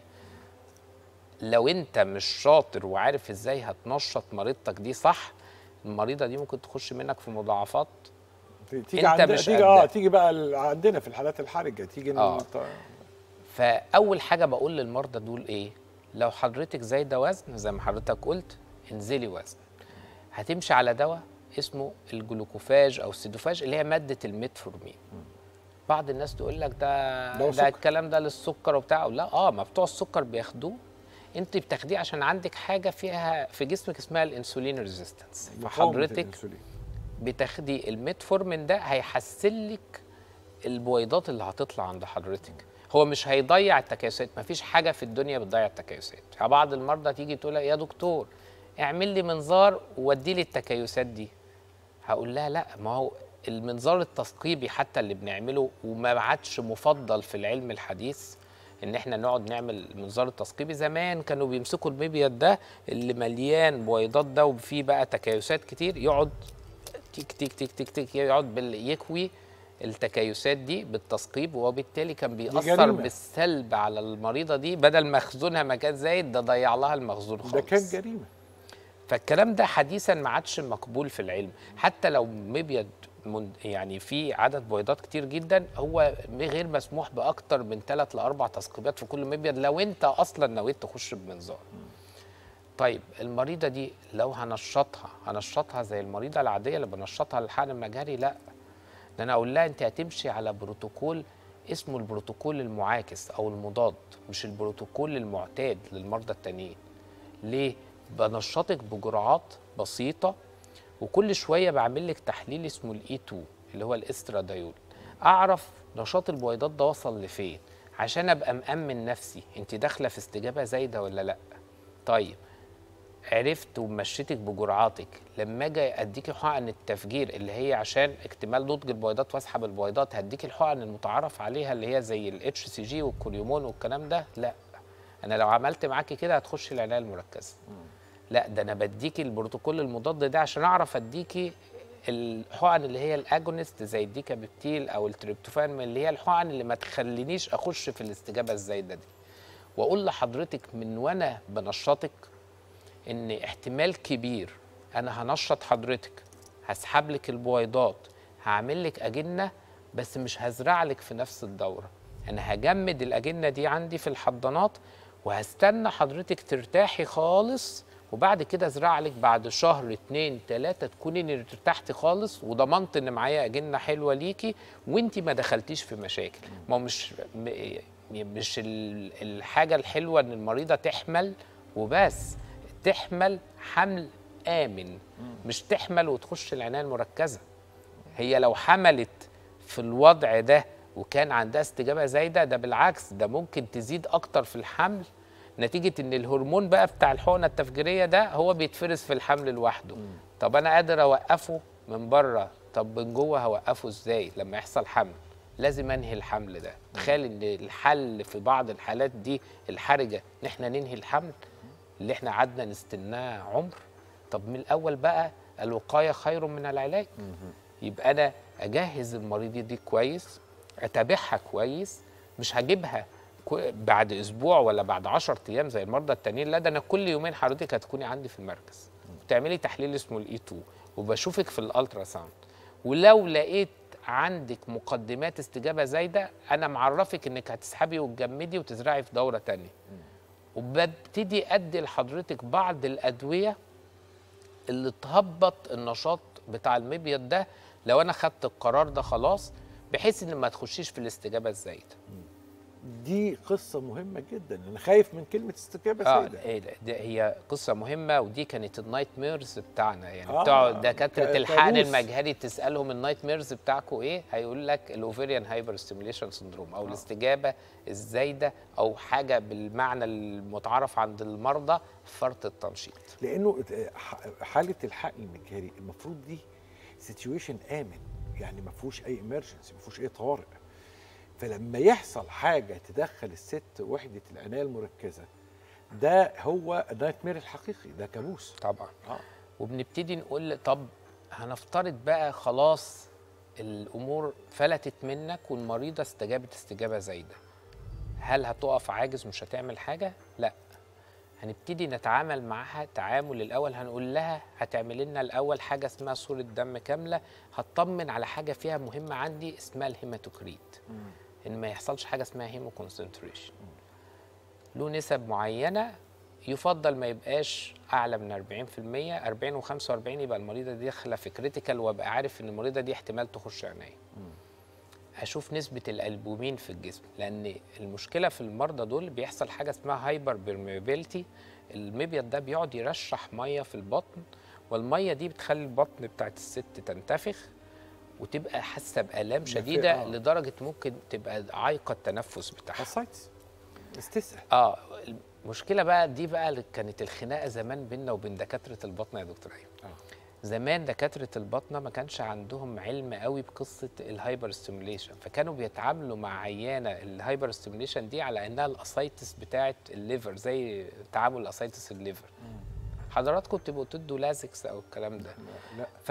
ال- في بعض المرضى بعض الدكاترة كانوا بيعملوا كده طبعا ده يعني آه، بيموت المريض آه. لأن هو بيسحب آه، مش بس سوائل أنت الصوديوم والبوتاسيوم اللي بيبقى مع السوائل دي بيبتدي يحصل له تأثر شديد في المريضة فال electrolytes بتاعتها يحصل بت... بيحصل حاجة اسمها. imbalance آه. طبعا في الدكاترة دلوقتي آه الدكاترة دلوقتي بقى wet and wise حتى في الكبد صح. خلي بالك ده من ده أنا قايلها من 20 سنة keep the patient wet and wise better than dry and dead ده في الكبد. فاحنا ما بنسحبش بسرعة برضه في مريض الكبد. عشان ما يحصلوش مرة واحدة hypokalemia ويدخل في hepatic encephalopathy يعني هو ده التفكير الصح. يعني إن إحنا نبقى إيه فاهمين إزاي نتعامل مع الحالات دي. عشان كده الحالات دي لو حصل لها مشاكل إحنا بنقول لها اوعي تروحي مستشفى كده عام أو مستشفى آه، ما تعرفش إزاي تتعامل معاكي لأنه ممكن يضروك أنت عارف ممكن بعض ال- المستشفيات شفنا مثلا مرضى زي دول دخلوا مستشفيات قبل كده قالوا لها ده انت عندك نزيف داخلي ولازم تخشي تفتحي بطنك حالا أهو. هي طبعا لا عندها نزيف ولا حاجة هو ارتشاح من المبيض وهو لو فتح حالا ولمس المبيض ال- المنتفخ ده هيطلعه في إيده. بيبقى فرايبل جدا وهيطلعه في إيده. يعني بدل ما يعالج المريضه هيدخلها في disaster آه. لأنه مش فاهم ماهية الحاجة اللي هو بيتحك أو بيشتغل عليها. دلوقتي بدأ نطلع كان إن إحنا حتى نقلل لو المريضة وصلت للتنفس بتاعها كان مش قادرة تاخده قوي بدأ في بعض الأجهزة اللي بتتحط زي ال pigtail ده زي drain كده بيحافظ إن يطلع المية دي شوية ونعوض بس ما نطلعهاش زي ما حضرتك قلت بنطلعها تدريجيا ونعوض بالسوائل ونعوض بألبومين الألبومين ونعوض بحاجات تعوض المريضة دي عن ال electrolytes اللي طلعت ال electrolytes اللي هي البوتاسيوم مهم جدا. آه طبعا لأن. الحاجات دي لو نقصت عند المريضة هتعمل لها مشاكل كبيرة جدا. فبقى خلاص في وعي دلوقتي إزاي اقي المريضة بتاعتي دي من ال hyperstimulation إزاي أحضرها؟ إزاي أجهزها كويس للحقن المجهري؟ 90% من الحالات دي بنجمد لهم نزرع لهم في دورات تانية. وعلى فكرة بيبقى نسب حملهم رائعة. رائعة جدا. ليه؟ لأن أصلا تقنيات التجميد عليت عندنا جدا. زمان كنا بنجمد بطرق قديمة كده اسمه slow freezing وبعد كده rapid freezing وبعد كده طلعت التقنية الأحدث اللي هي ال vitrification اللي إحنا دلوقتي شغالين بيها اللي بتحافظ على الأجنة بنفس الكفاءة. فالناس عادت بتحمل بالمجمد أكتر ما بتحمل من الفريش والناس اللي هم عندهم تكيسات بيبقى استقبال بطانه الرحم بتاعتهم أفضل في الدورات المجمدة. مش في الدورة اللي هي الفريش اللي هي فيها دي فعشان كده بنقول إيه إن إحنا نظبطها كويس ونعمل الكلام ده صح عشان خاطر إيه نبقى مجهزين مريضتنا كويس وعشان نسعى للي إحنا عايزينه إن المريضة دي تحمل والحمل بتاعهم بيكون على. فكرة كويس آه. والمرضى دول بنقول لهم ده أنتوا نسبكم في الحمل كويسة لأن أنتوا أصلا بتطلعوا بيضات كتير بس أنا عاوزها بيضات جيدة وهديكوا مخزون ليكوا العمر آه. انت بتطلعي م- العادية بتطلع 10 12 بيضه انت هتطلعي 20 30 هجيب لك أجنة وهجمدها لك واحتفظ بيها عمرك ما هتتنشطي تاني كل ما أفكر أزرع على حضرتك هزرع وهحضر بطانه الرحم والتجميد وأزرع بس. قيمته في تكيس المواد قيمة كبيرة جدا لأنه بيقيها من النايت مير اللي إحنا اتكلمنا آه اللي. إحنا اتكلمنا فيه وكتير من المرضى ربنا كرمهم وزرعنا لهم وحملوا بالاثنين والثلاثه وربنا كمل لهم الحمل وربنا أراد لهم إن الحمل ده يكمل ويكمل على الخير. يعني كتير من مرضى تكيسات المبيضين اللي عملنا لهم زراعة لأن دول في الغالب بيبقى عندهم استقبال بطانه الرحم في الدورات المجمدة حلو فساعات أزرع جنينين يلزقوا ساعات أزرع ثلاث أجنة ألاقي الثلاث أجنة لزقوا. وكنا بعض المرضى بنخيرهم بقى إذا كان نكمل الحمل بالثلاثه أو نعمل اختزال بعض المرضى يقولوا لنا إيه؟ لأ كملوا بالثلاثه وساعات نعمل لهم ربط ويكملوا الحمل بتاعهم. وعندنا حالات كتيرة ولدناها ثلاثات يعني يستحضرني كان شكل أطفال حلو قوي عجبني. كان كنا إحنا مريضة اتأخرت حمل 11 سنة كاملة وعملت أكتر محاولة للحقن. وكانت دخلت عناية مركزة في بعضهم إن هم برضو ما كانتش متحضرة جيدا. ربنا أراد وإن إحنا عملنا لها الحقن المجهري وبفضل الله تعالى ولدناها في ثلاث أطفال. يمكن دي صورة للأطفال اللي إحنا آه، يعني كان آه، المريضة دي تقريبا لسه مولدينها قريب. ربنا رزقها بولدين وبنوتة جميلة. آه، يعني بقول للمرضى دول آه بعد سنين الانتظار ده لازم حضرتك تكوني إيه عارفة إزاي تتحضري جيدا لموضوع زي موضوع الحقن المجهري؟ عارفة إزاي تمشي خطواتك جيدا؟ لازم الدكتور اللي بيتابع معاكي يبقى فاهم إزاي بيحضر حضرتك وشوف ده ده منظر الثلاث أطفال اهم بعد ما طلعوا الحمد لله تعالى يعني الحمد لله المريضة قدرنا نوصلها للشهر بتاعها يا دوبك هي وصلت أول التاسع وربنا أراد إيه؟ ولدت إيه؟ الأطفال الجمال دول. نورتني وشرفتني طبعا دكتور أحمد عاصم الملا استشاري الحقن المجاري وجراحات المناظير النسائية بمراكز رويال. كالعادة بتبدع في الناس الحلوة.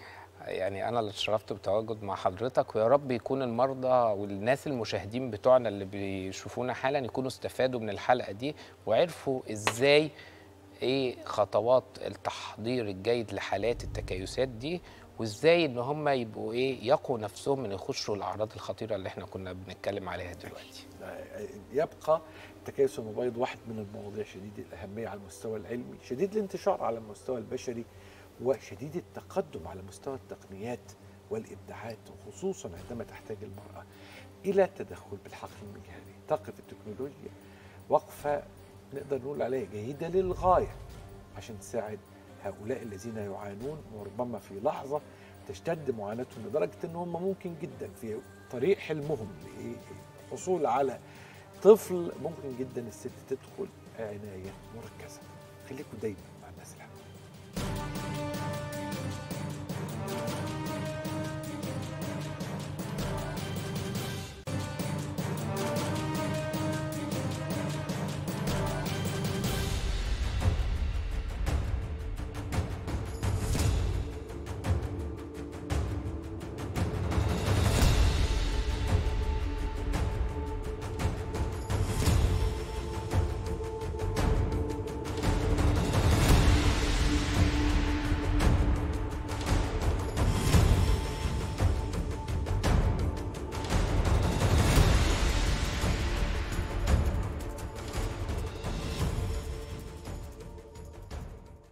أهلا بيكم. النهارده يوم مهم جدا مع قيمة علمية كبيرة في عالم جراحة السمنة. الكلام اللي هقوله دوت كلام مهم قوي. والحقيقة آه، اللي أنا هقوله ده أول سطرين في مقالة كبيرة جدا أنا بجهز لها وكلام كتير جدا هكلمكم عنه في الفترات اللي جاية. التكنولوجيا الموجودة دلوقتي في صورة الموبايلات تحديدا وطبعا الآيباد لكن كل الناس دلوقتي هي الموبايلات هي المسيطرة على كل حاجة. ضيفي العزيز واحد من الأسماء البارزة في هذا العالم والحقيقة على المستوى المصري والعربي بنفتخر دائما بإنجازاته الرائعة وبوجوده معنا أكيد بيكتمل يعني الأداء العلمي الرائع جدا لهذا الفرع المهم جدا على المستوى الإعلامي. ضيف العزيز القيمة العلمية القديرة الأستاذ الدكتور كريم صبري أستاذ جراحات السمنة والمناظير بكلية طب جامعة عين شمس والمدير لوحدة جراحات السمنة بمستشفى وادي النيل زميل كلية الجراحين الملكية الإنجليزية وكلية الجراحين الأمريكية والحاصل على أعلى تصنيف جودة دولي في جراحات السمنة أهلا بيك كريم. وسهلا أهلا وسهلا. عجبني قوي الدراسة دي.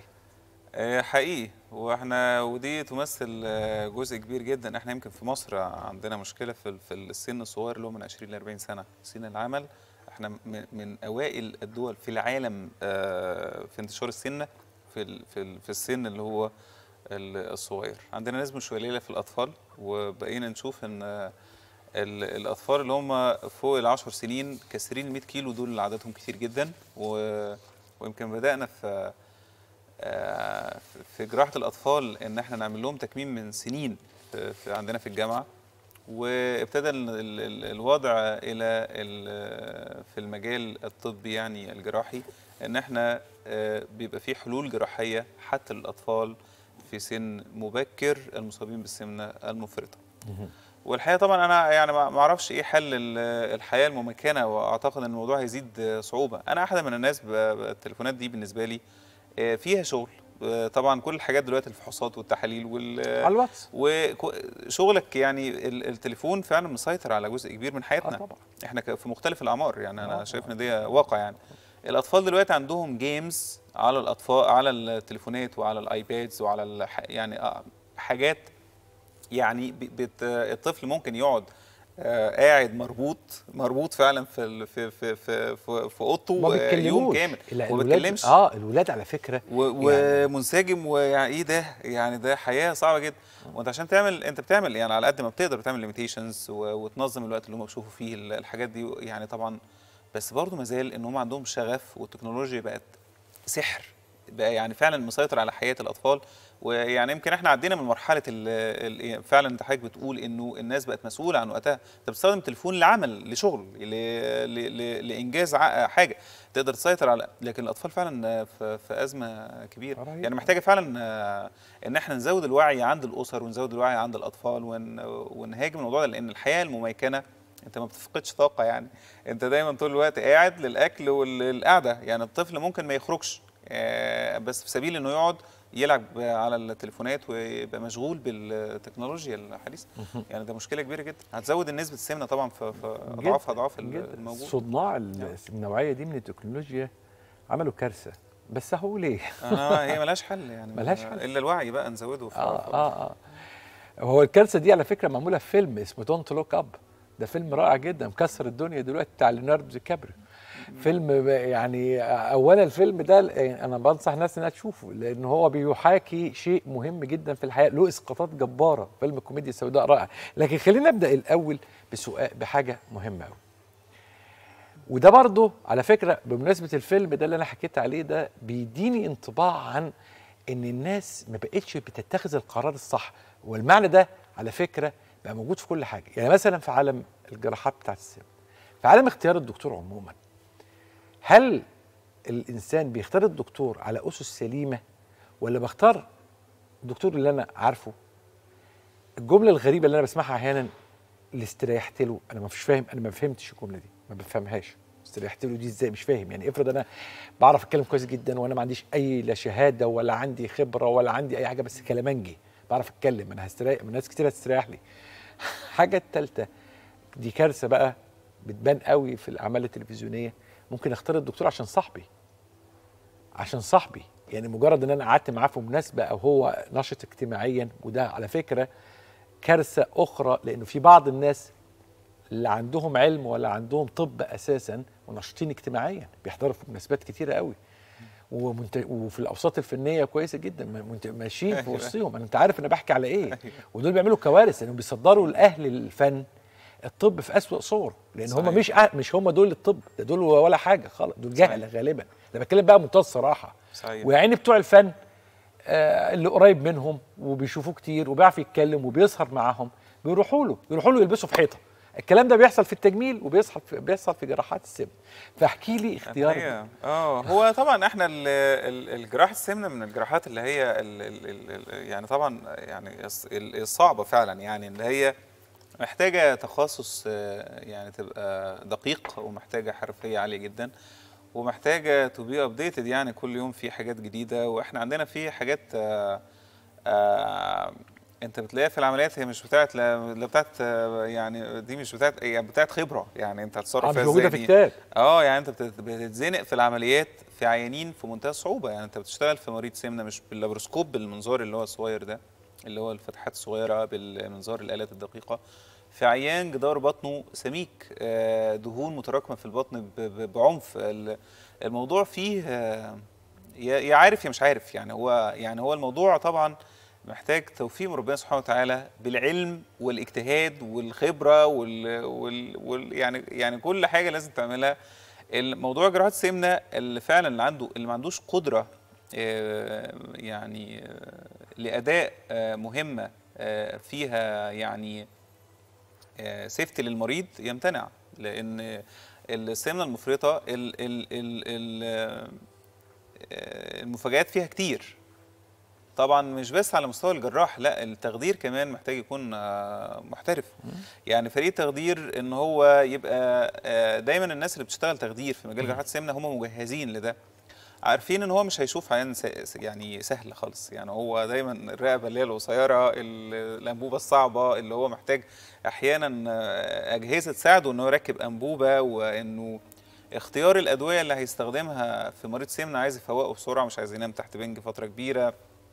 العيان نفسه أصلا طول الليل عمال يشخر أحيانا بنسبة كبيرة منهم وداخل تخديريا هو أحيانا تلاقي وظائف القلب آه، عنده مركب دعامات و وظائف ال ejection fraction أو يعني آه، قدرة القلب آه، ضعيفة. الكلى أحيانا بيبقى فيها مشاكل. طبعا دي كلها challenges قدام دكتور التخدير. مش بس كده أنت لازم يبقى محاط بفريق لو كان الجراح محترف وعنده قدرة جراحية عالية و updated والتخدير كويس فأنت محتاج فريق معاون لده زي فريق التغذية العلاجية. انت مش بس just عملية انت بتقص جزء من المعدة وخلاص على الوضع ده انت لم إذا لم يعني يفترض إن العين بيخس من عضلاته وما بيخسش دهون وده العين بيتدهور طب مين ياخد فيتامينز انت عندك بتعمل كذا نوع من العمليات بتعمل تكميم وتعمل تحويل مسار معدة مصغر بتعمل تحويل مسار معدة كلاسيكي بتعمل واحد على بعد 150 سم وتعمل واحد على بعد مترين مين ياخد فيتامينات؟ ومين ما ياخدش؟ مين ياخد كمية قد إيه؟ طب جرعته إيه؟ الموضوع فيه احترافية. يعني يعني انت بتعمل أكتر من 12 نوع عملية آه، من العمليات. يعني من ساعة ما سمعنا عن عن السمنة المفرطة في انواع كتيرة بمقاسات مختلفة بجراحين مختلفين. مين مين ده اللي هتديله آه، جرعات آه، vitamins؟ وبأي جرعات يعني بناء على إيه ما هو ده محتاج خبرة جراحية. ال- المتابعات دي تبقى ماشية إزاي؟ العيان ده بيخس بصورة صحية سليمة ولا كسلان وتعبان وتحس إن هو مريض؟ فده اختيار الجراح. ده, ده اختيار ال team الجراحي. ال- ال- ال- المنظومة نفسها ده في منتهى الخطورة ومنتهى الأهمية. انت ممكن تعمل عملية تكميم؟ والله في أحيانا بتبقى حاجات ملهاش حل. آه، ب- آه، يعني كان من أسبوع أسبوعين. يعني ال- الأيام اللي فاتت كان عندي بنت 19 سنة. جاية لي آه، كانت من ضمن ال- العيادة في في مصر الجديدة. آه، على نهاية اليوم جاية بتبكي. يعني هي دي اترددت عليا ثلاث أربع مرات عمالين نعمل انفستيجيشنز عملت عمليه تكميم غير صحيحة بالمرة. البنت عندها الجزء من المعدة طائق في الصدر يعني عندها فتق في الحجاب الحاجز وعندها ضيق في المعدة. فمتعذبة. دي 19 سنة عاملة بقى لها يمكن سنتين وعمالة يعني يمكن بال- بالمعنى دايخة مش عارفة إيه الحل. فتعمل منظار وتعمل أشعاعات. قلت لها نعمل منظار ونعمل أشعاعات و... و... وتبين فعلا إنها محتاجة عملية إعادة. طب ما هي دي عملية. أنت أنت حولت بنت اللي هي في, في, في منتهى ال... يعني اللي لسه صغيرة يعني. أنت حولتها من من إنسانة طبيعية جدا. عايزة تنزل شوية وزن. ما هي دي عدم خبرة في إجراء العملية. حولت عيانة صغيرة في السن بنت مقبلة على الحياة وعلى جواز وجامعة ويعني قصدي في مقتبل حياتها إلى إنسان مريض. فأنت الهدف من إجراء العمليات السمنة إن أنت تخلص المريض من السمنة المفرطة والأمراض المصاحبة ويعيش حياة سليمة صحية. أنت بتحسن ال lifestyle ما بتسوقهاش. يعني مش معنى إن أنت تعمل عملية بصورة غير مظبوطة تحول العيان إلى إنسان مريض. وده يعني راجع لقلة الخبرة. أنا أظن إنه امبارح آه، من ضمن الليستة إنه عيانة كان عندها آه، تكميم وعندها فتح في الحجاب الحاجز. ما بعد إجراء برضو جراحة مش مظبوطة. المهم هي بتسألني على إيه إيه أهم حاجة أنتوا بتعملوها؟ يعني إحنا أنا شايفة إن إن في ناس بتحضر ال- العيان. يعني يعني تيم شغال خليه نحل شغالة. آه، حضرتك بتعمل عملية. آه، بعد العملية المتابعين مختلفين عن الناس اللي حضرت العملية. آه، في طقم للمتابعة مختلف خالص عن الوضع. فبقول لها يعني هي. وقت العمليات أنا ما أقدرش إن أنا أحضرك. و- وبعد كده في الإفاقة أقف معاكي وبعد كده أطلع فوق. أنا في ضربة في العمليات. ال- اللي هي ال- الخبرة الكافية آه، لازم تؤدى بصورة احترافية. داخل عمل. العمليات. وفريق عمل آه، معاون يؤدي الواجب بتاعه. ده مش معناه أنت تأثر في العيان. لا أنت لازم تدي وقت العملية حقه مظبوط. التحضير أنا لو آه، آه، يعني إحنا قابلنا العيان في العيادة وحضرناه وخدنا تاريخ مرضي وخدت فيه قرار اللي آه، طبعا فريق العمل يمكن بتتراجع الفحوصات ما قبل العملية يمكن أكتر من ست دكاترة بيراجعوا الفحوصات قبل العملية. ما بعد العملية في فريق متابعه من تغذية علاجية من علاج طبيعي من من جلدية من يعني فريق متكامل آه، بحيث إن هو يؤدي خدمة متكاملة للمريض. فاختيار نوع آه، اختيار ال- الجراح أو اختيار التيم الجراحي أو اختيار الفريق الطبي من أخطر الحاجات اللي ممكن العيان يقع فيها. آه، اللي بيقع فيه المرضى برضو إن هم عايز يوفر في في الماديات ففي أماكن فعلا هي بتشتغل ب آه، مستهلكات طبية ما المستهلكات الطبيه يعني حاجة ليفلز درجات. طبعا. أنت المستشفى الأمان آه، المستشفى دي آمنة أو غير آمنة؟ يعني أنت واحد مريض قلب عندك دعامات في القلب عايز تروح فين؟ ما انت لازم تروح مكان مجهز يعني. واحد عامل عمليه عايز يعمل عملية إعادة ما تروحش مستشفى صغيرة. انت لازم تعمل احتجت حاجة طبية مستهلكات طبية على أعلى مستوى تاخد الفرصة فيها. وأحيانا أنا بقول للمريض إن يعني أنا والله أصلا ببقى صريح من المريض أصلا مفيش مصلحة يعني. أنا يعني أنا يعني فبقول للمريض دلوقتي أنت لو ما عملتش العملية دي بالشروط اللي هي تتوافر فيها نسبه الأمان في المستشفى الفلانية ما تعملهاش. في العالم أنت كله دلوقتي هتبقى عارف في العالم كله الفكرة المس... في مستشفيات مجهزة كبيرة وفي مستشفيات تانية صغيرة ده موجودة في أمريكا الكلام ده بس دي يعني- ليها حاجات ودي ليها حاجات آه طبعا دي آه. والناس فاهمة يعني صح. حتى مثلا عملية major خلاص أنت لازم هتروح المستشفى الفلانية لأن دي صحيح. عملية major مهمة كبيرة أوي أوي. آه. المستشفيات التانية بتقوم بأدوار ال emergency وبتقوم بأدوار في الكسور وفي الجروح وفي الخياطات وواحد عنده rupture spleen بيتعالج بيه كل الحاجات دي في الم... لكن ده موجود وده موجود الخبرة ولا التكنولوجيا ما هو أنا بقى لما بتكلم عن التكنولوجيا بحس إن أنا ظبطت الجاكيت وبعدين بعد ما أظبط الجاكيت كده أفتكر الخبرة فأتكلم على البتاع فالناس آه، تنسى هما الاثنين بالظبط. ما واحد عنده خبرة آه، خبرة يعني جراحية بس ما بيستخدمش التكنولوجيا. ما هي التكنولوجيا أصلا إحنا هي التكنولوجيا هي كل حياتنا يعني. يعني الدباسات ال- ال- الحديثة زي الدباسات اللي هي السجنية اللي هي الإلكترونية أنت محتاجه خبرة إن أنت تستخدمها.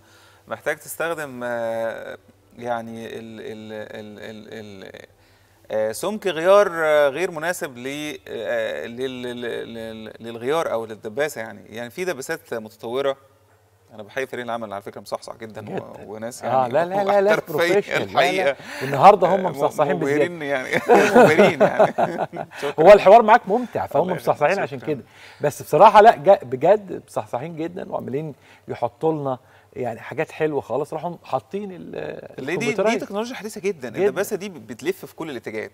آه، angulation مختلف. آه، فيها زي آه، كمبيوتر صغير كده أو يعني شاشة بت بت آه، بتقيس سمك النسيج وتشوف ال- الدباسة دي هتضرب على على سمك معدة آه، مناسب ولا لأ وتحدد حتى السرعة بتاعة ال reload إن هو to be fired يعني. مم. فدي حاجة. فالخبرة كافية طبعا. لازم آه، تبقى عندك خبرة عالية جدا.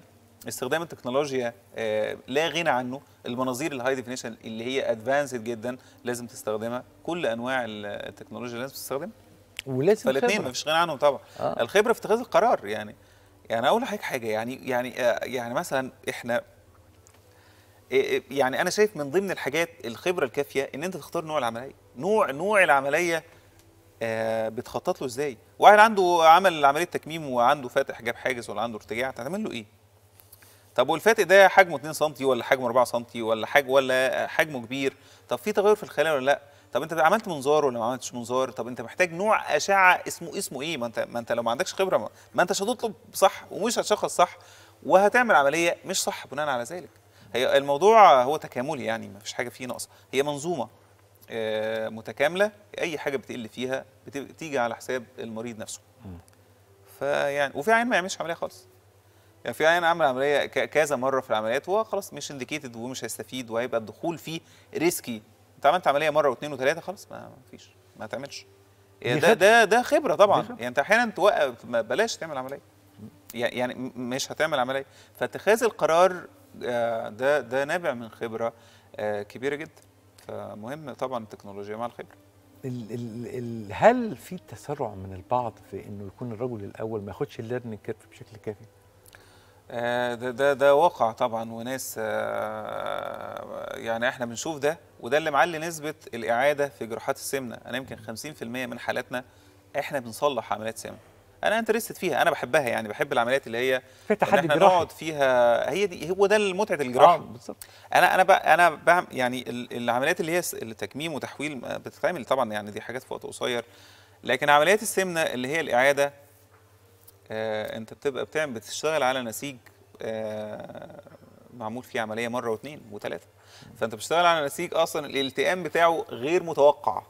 فانت النمرة الثانية انت بتبقى في موقف أنا دلوقتي لو في حالة مثلا butterfly زي اللي كنا بنتناقش فيها أو عملية آه، تدبيس معدة وعندك pouch أو عملية حتى تكميم وفتح في الحاجز انت بت- بتقص المعدة تحت مستوى ال left gastric يعني ال left gastric vessel على بعد آه، 6 سم من ال DG من ال gastroesophageal junction يعني بعد آه، نهاية المريء ب 6 سم عندك معدة 6 سم تخيل حضرتك.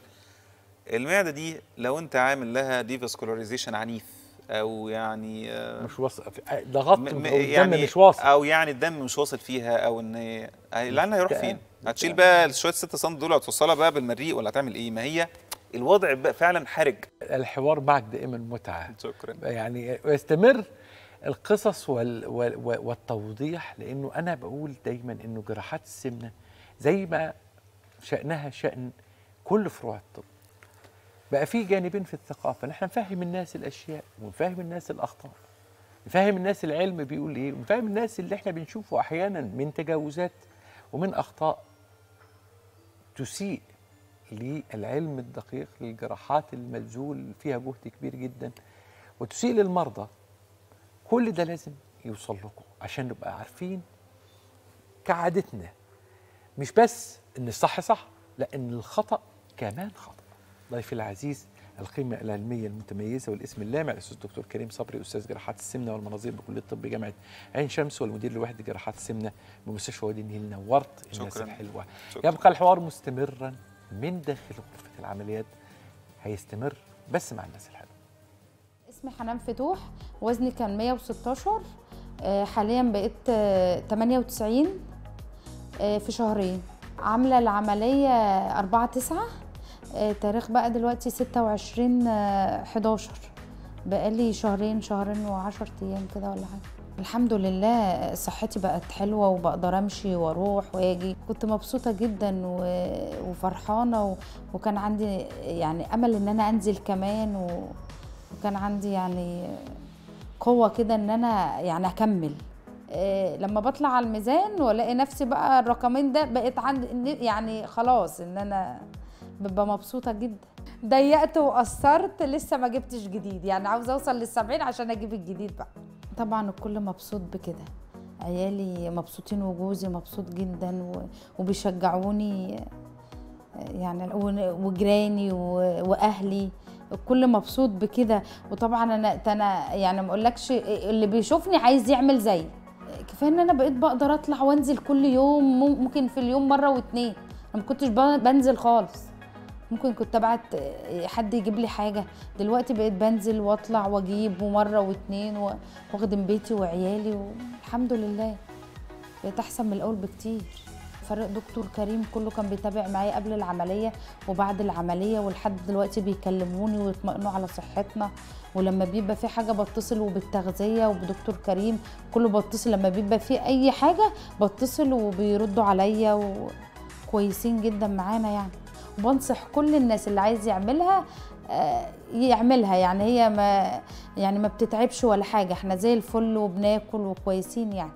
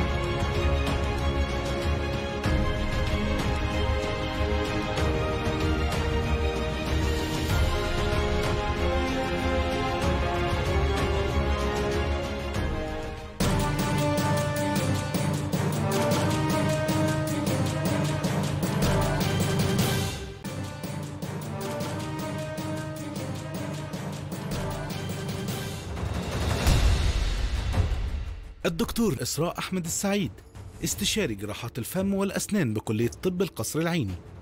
ماجستير جراحات الوجه والفكين كلية طب القصر العيني. ماجستير جراحة الفم والأسنان كلية الطب القصر العيني. حاصلة على الدبلومة الأسبانية لزراعة الأسنان جامعة سيفيا. عضو الجمعية الأمريكية لجراحين الأسنان. أهلا بكم. ما بين التاريخ القديم والدور الحديث لتطوير طب الأسنان في آه، إبداعات. في ناس مبدعين قوي عايز أحكي لكم حاجة قصة مثيرة جدا. تقويم الأسنان علم حديث؟ لا ده علم قديم نسبيا. ده منتصف القرن التاسع عشر يمكن شاف تطوير في هذا العلم. المساهمين المؤثرين في مجال تقويم الأسنان كان على رأسهم نور نورمان ويليام كينجسلي. ده كان عايش من سنة 1829 ل 1913 كينجسلي هو وادوارد أنجل اللي عاش ل 1930 هم آباء أو زي ما بيقولوا المطورين الأساسيين لعالم الخاص بتقويم الأسنان ما بين الطب والتجميل. ضيفتي العزيزة ما بين الطب والتجميل ستمتعنا بحوار كالعادة. مختلف كالعادة فيه الكثير من التشويق والحكايات الجميلة اللذيذة اللطيفة من ضيفتي المبدعة دائما الأستاذ الدكتورة إسراء السعيد استشاري طب وجراحات الفم والأسنان بكلية الطب جامعة القاهرة وصاحبة الدبلومة الأسبانية لزراعة الأسنان وماجستير جراحات الفم والأسنان. الاسم المتميز للغاية أهلا بيك يا دكتورة إسراء أهلا بيك يا دكتور الناس أيمن. الحلوة. ربنا يخليك بوجودك. ما بين إدوارد جينجسلي سنة 1900 وما بين آه، آه، آه، جوليا روبرتس. حيث 2024. حيث كان تجميل الأسنان انتقل التقويم من فكره تقويم يعني طب طب إلى فكره تقويم وتجميل صح؟ طبعا. احكي لي بقى. هو مش محتاجين ننط هذا الكم من السنين. إحنا عندنا تجميل اسنان بيتغير كل سنتين ثلاثة بالكتير آه طبعا. لا هو في طفرة كبيرة جدا في طب الأسنان وطب الأسنان أو التقويم الأسنان عموما هو آه، علم قديم على فكرة مش زي ما الناس متصورة. ولقوا بعض الموميات عاملة تقويم وعاملين wires وجايبين أسلاك ومربطين أنت رجعت الأسنان. آلاف السنين. ورجعت آلاف السنين. هو فعلا يا بنتي أنا- مش محتاجين نروح جاية راجعه علشان أشوف بس ال update قد إيه. لا هو أنا بتكلم في نقطة البشريه عموما كانت بتسعى للتقويم آه بس أنا بتكلم في نقطة التقويم ده مش مش علم جديد آه. مبدئيا ده مش علم جديد الجديد الحاجات التانية بقى مثلا علاج العصب لا ده علم جديد آه. الح- اللي هي اللي هي مش من آلاف السنين لكن التقويم موجود من آلاف السنين فعلا تلاقوا مومياوات فيها آه wires وفي forces وفي حاطط خشبة كده عشان يخلي السنان تتحرك في اتجاه معين فالتقويم لا التقويم عمره أطول على فكرة لكن الطفرة اللي موجودة هو إن التقويم بدل ما بقى تقويم للأسنان علشان خاطر آه، يعالج حاجة معينة بقى, بقى كمان تجميلي. وديت هي الطفرة الجديدة في طب التقويم عموما. آه، يعني اذا أصبح تحسين الشكل هدف. طبعا طبعا وبيفرق كتير جدا في كل حاجة على فكرة. وأنا شايفة من ال- البرانشز اللي, فعلا مظلومة جدا في طب الأسنان التقويم سمعته وحشه جدا عشان التطويل فيه والوقت اللي أي بص ما فيش حالة تقدر تخلصها قبل يعني ال minimum بتتكلم في ست شهور. لكن آه، ده ده اللي ظلمه. بس مش كل الحالات بتطول. فده اللي مخلي الناس دايما خايفة منه. الناس دايما بتبص إن هو بيطول. واللثة. الاثنين branch دولت مظلومين جدا في طب الأسنان. آه، وهو يقول لك أنا لا بدأ أنا عايز أنا عايز أنجز. مش عارف ليه في. الأسنان آه مش مش مش عارفة ليه. طب مش ما-. الحالة دي بقى لها مثلا حاجة و20 سنة فما ما جاتش على سنة كمان بس هتجيب نتيجة حلوة. يعني مثلا الحالة ديت آه، دي بنوتة دي اسمها عضة معكوسة عشان خاطر الناس كلها بتبقى متلخبطة في ال- العضة وأنا فعلا شرحت الموضوع دوت كتير. دي اسمها عضة معكوسة يعني الفك السفلي طالع لقدام والفك العلوي نازل جواه يعني دوت اللي تحت محتويه. الطبيعي بتاع الفك المس... ال- العضة المثالية إن الفك اللي فوق بيغطي من تلت أو الأسنان اللي فوق بتغطي من تلت لنص الأسنان اللي تحت.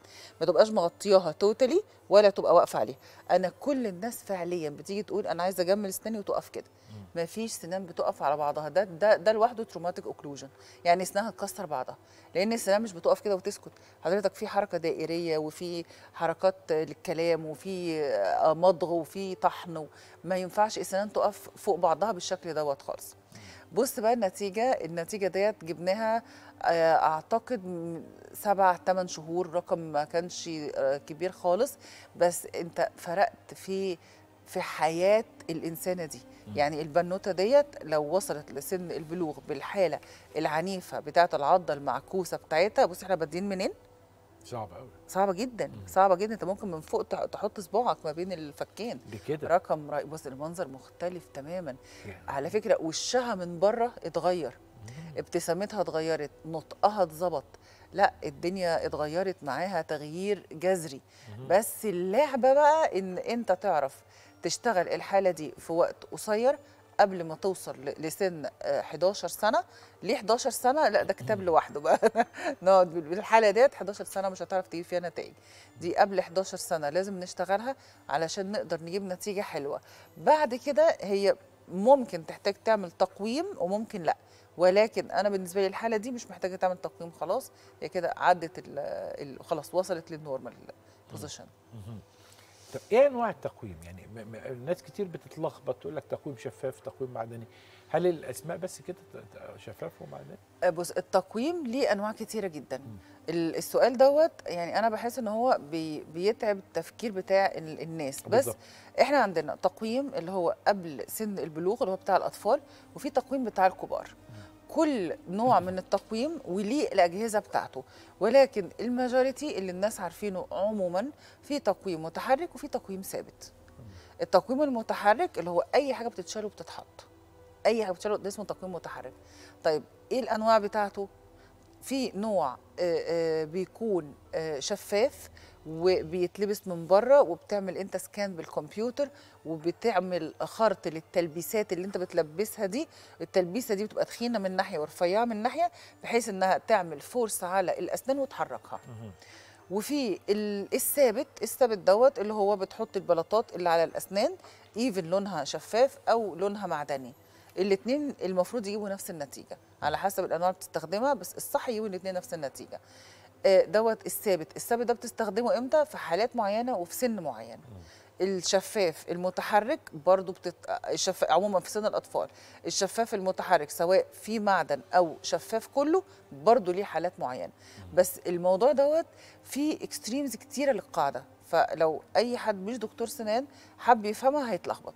بس أنا شايفة إن الصح إن الدكتور هو اللي يقرر انت هتعمل حاجة متحركة ولا ثابتة. حس- حسب الحالة. و... وعلى فكرة ممكن تعمل متحرك في كبير في حد آه، بالغ ممكن تعمل برضو ال- المتحرك لمرحلة عشان تظبط علاقات معينة وبعد كده تحط الجهاز الثابت. فالقصة ما هياش رول لازم تطبق على كل الناس. كل إنسان هو حالة منفردة ليها طريقة علاج منفردة وليها نتائج لوحدها. مش كل الناس هتحط لهم نفس الجهاز تجيب نفس النتيجة.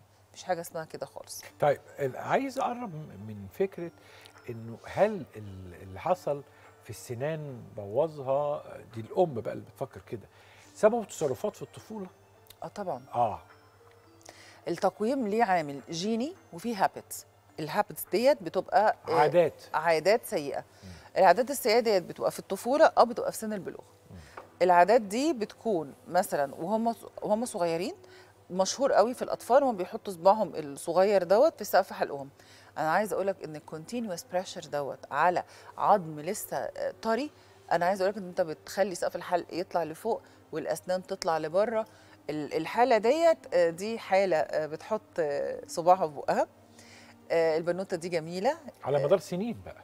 مش سنين يعني هي عندها تسع و- سنين. أيوه من ما هي- يعني من. وهي آه من آه، وهي آه. عندها سنة 8 سنين. مثلا. آه. يعني ده ده رقم. آه. السنان طالعة فعلا مش مش مش جميلة وللأسف التنمر المدرسي ده نعمل عليه حلقة بقى ماشي تنمر الأطفال على الأطفال في المدارس ده شيء آه، ده شيء لازم يتحط له حد. دي قلة تربية آه آه، طبعا هو.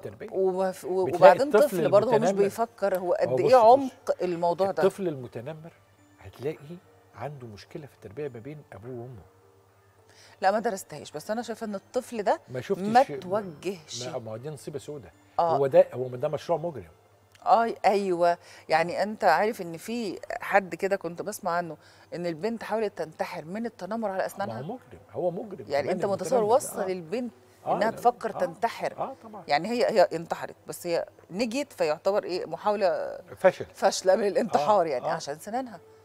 لا انت وآه، متصور الموضوع و- و- وصل هي؟ كده مش انتحرت هي كده اتقتلت اللي قتلها المتنمر عليه بالظبط آه. على فكرة ان نفس طريقة التفكير دي دي اتقتلت فعلا آه، آه. أو كانت هتتقتل. وعدت من الموضوع آه. علشان بروز يعني البنت دي نفسيتها سيئة لا تتصور قد إيه علشان هي طبعا اسنانها طالعة لقدام بشكل ملفت لو جبت لك الصورة من من الجنب لا لا لا البنت فعلا الوضع كان مؤلم جدا رجعت لها السنان مكانها ظبطنا الدنيا خلينا العضة كلها بتاعتها مرصوصة والمفروض إن إحنا نركب بقى جهاز دايم علشان نبدأ. بص إحنا بعد ما خلصنا الحالة مش محتاجة حتى جهاز دايم. كل السنان مرصوصة الأنياب نزلت في مكانها ادينا لها الفرصة بتاعتنا ونزلناها مكانها. ما ركبتش جهاز مستمر ده كله كله تقويم متحرك. خدت قد إيه؟ خدت around سنة سنة وشهرين. نتيجة هايلة هايلة هايلة. كل القصة دي كوم ونفسية البنت دي كوم تاني خالص. ان هي حتى أثناء فترات العلاج اللي بتجيها هي البنت ما بتتكلمش خالص. حزينة كده تحس إنها طفلة حزينة. ليه؟ من شكل أسنانها. ففعلا ال- ال- التقويم من ضمن مزاياه إن هو بي بيمنع موضوع التنمر أو بيقلله جدا علشان اللي في الوضع دوت فعلا بيبقى متألم نفسيا جامد جدا. السن المناسب للتقويم؟ ما هو أنا مش بتاعت السن المناسب أنا بعمل حلو. تقويم في أي وقت. والله. آه والله ممكن اعمل بس في سن خلينا كبير. من وإحنا صغيرين يعني جبنا مثلا طفلة صغيرة خمس ست سنين سبع سنين ثمان سنين. نبدأ من السن ده؟ من 6 ل 8 لازم أي حد عنده طفل يوديه للدكتور. okay من 6 ل لا 8 من 6 ل 8 سنين. حلو. لازم. يعني يقول ست سنين كفاية قوي نعمل check up كده. يوديه للدكتور لسبب ده الوقت اللي بيحصل فيه shedding للأسنان اللبنيه آه. وبتبدأ تنزل الأسنان الدايمة. ده الوقت اللي بتشوف فيه العلاقات عاملة إيه. ده الوقت المناسب اللي توديها يعني. امبارح كانت عندي حالة عندها 12 سنة بتقول أنا عارفة إن لسه بدري بس قلت أبص على أسنان ابني. لا هو اتأخر. دي عضة معكوسة والحالة متأخرة جدا ودي هتقلب عملية أكيد. فبالعكس يعني المفروض نروح بدري. فهي راحت بتقول لخمس دكاترة وهم قالوا لها لا لسه بدري. مين قال الكلام دوت؟ إيه المشكلة؟ ما نطمن ما ينفعش. آه على فكرة من ضمن ال- العادات السيئة نسيت أقول لك عليها غير حط ال- ده في بقى الناس بتحط القلم وفي آه، لما بيكبروا شوية بيحطوا البنسة بتاعت الأسنان. لما بيكبروا قوي بقى بنتكلم في ال notch بتاعت ال- اللب. اللب والسوداني دي بتأثر برضو على ال... بتاكل الأسنان نفسها مش بتوصلنا لتقويم. بس هي من الحاجات ال habits مش كويسة يعني اللي بتأثر على الأسنان بشكل واضح. يعني أنت لما تشوفها من بعيد تقول لها دي notch لب على طول دي معروفة. إيه احدث دلوقتي؟ الأحدث في ال... في تقويم الأحدث أجهزة. في التقويم. آه. طيب التقويم كله أجهزة حديثة. في دلوقتي أجهزة أنت ممكن تحط جهاز واحد بيوصل الفكين ببعض بيبقى فوق مع تحت. يطلع اللي تحت مثلا يطلع يدخله لجوه ويطلع اللي فوق لبره. بجهاز واحد بي- بيعمل حركة معينة ي- يعمل يظبط العلاقة ما بين الفكين.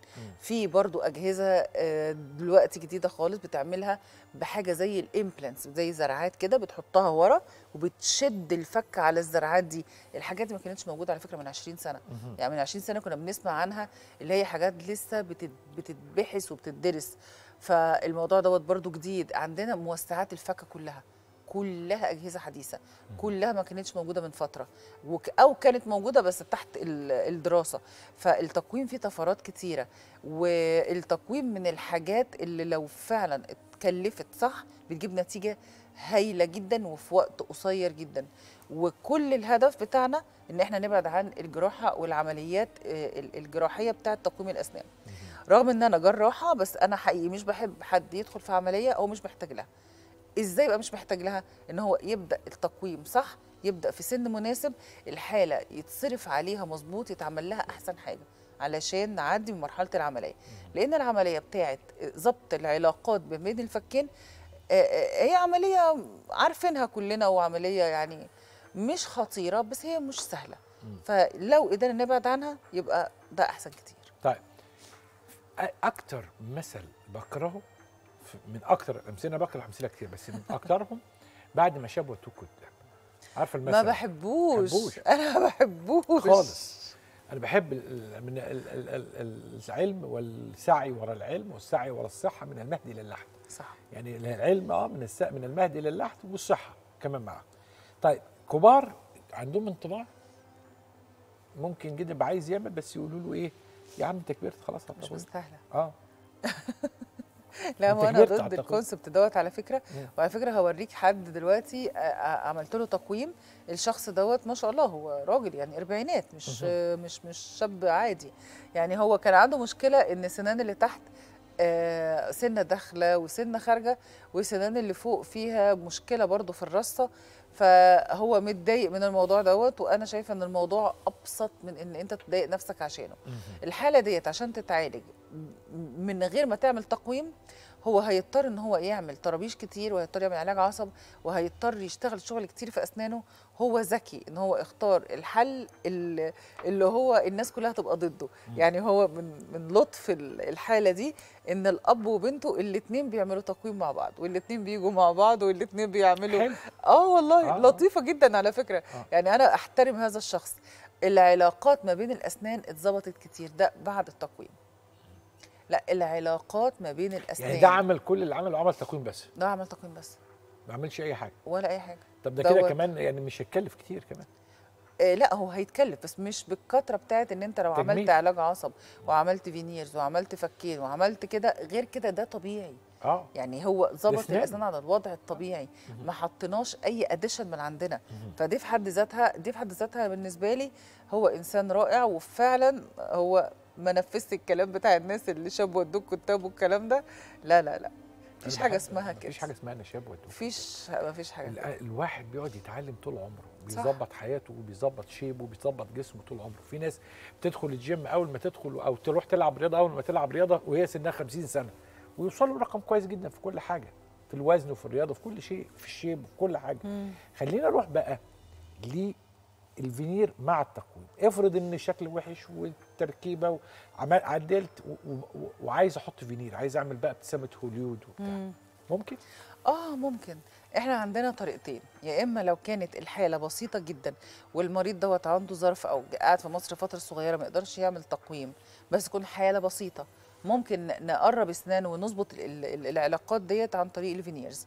وده بالنسبة لي مش بحبه. يعني ده بعتبره إن هو plan B مش بعتبر إن دوت ال- ال- ال- العلاج الرئيسي. آه، يا إما ناس عندها وقت ومقيمة في مصر أو هتقدر تروح وتيجي متابعة كل شهر شهر ونص دوت ما فيش مشكلة خالص دوت بيركب جهاز تقويم بيجيب نتيجة أنا شايفاها أحسن حتى لو ركب veneers بعد ما يشيل التقويم. لأن أنت كل ما كانت السنان متراصه جنب بعضها كل ما كانت ال veneers هتطلع نتيجتها أحسن وأدوم. كل ما كانت السنان سنة طالعة وسنة داخلة وأنت بتحاول تقرب العلاقات ديت بال veneers برضه نتيجتها مش هتكون زي ما تبقى سنين already السنان already مرصوصة جنب بعضها. بيجيب نتيجة أحسن. طب الفينير حواليها معتقدات عايز تصححها لي إذا كانت صح أو غلط. أول هذه المعتقدات في الفينير إن الفينير تصلح في أي حالة عايزة تعمل تجميل. لأن أنا عايز أعمل تجميل خلاص هعمل فينير. صاحبتي عايزة تعمل تجميل آه، آه، ابن خالتي عايز يعمل تجميل كل الشله عايزة تعمل يلا نعمل veneer. ال veneer للجميع.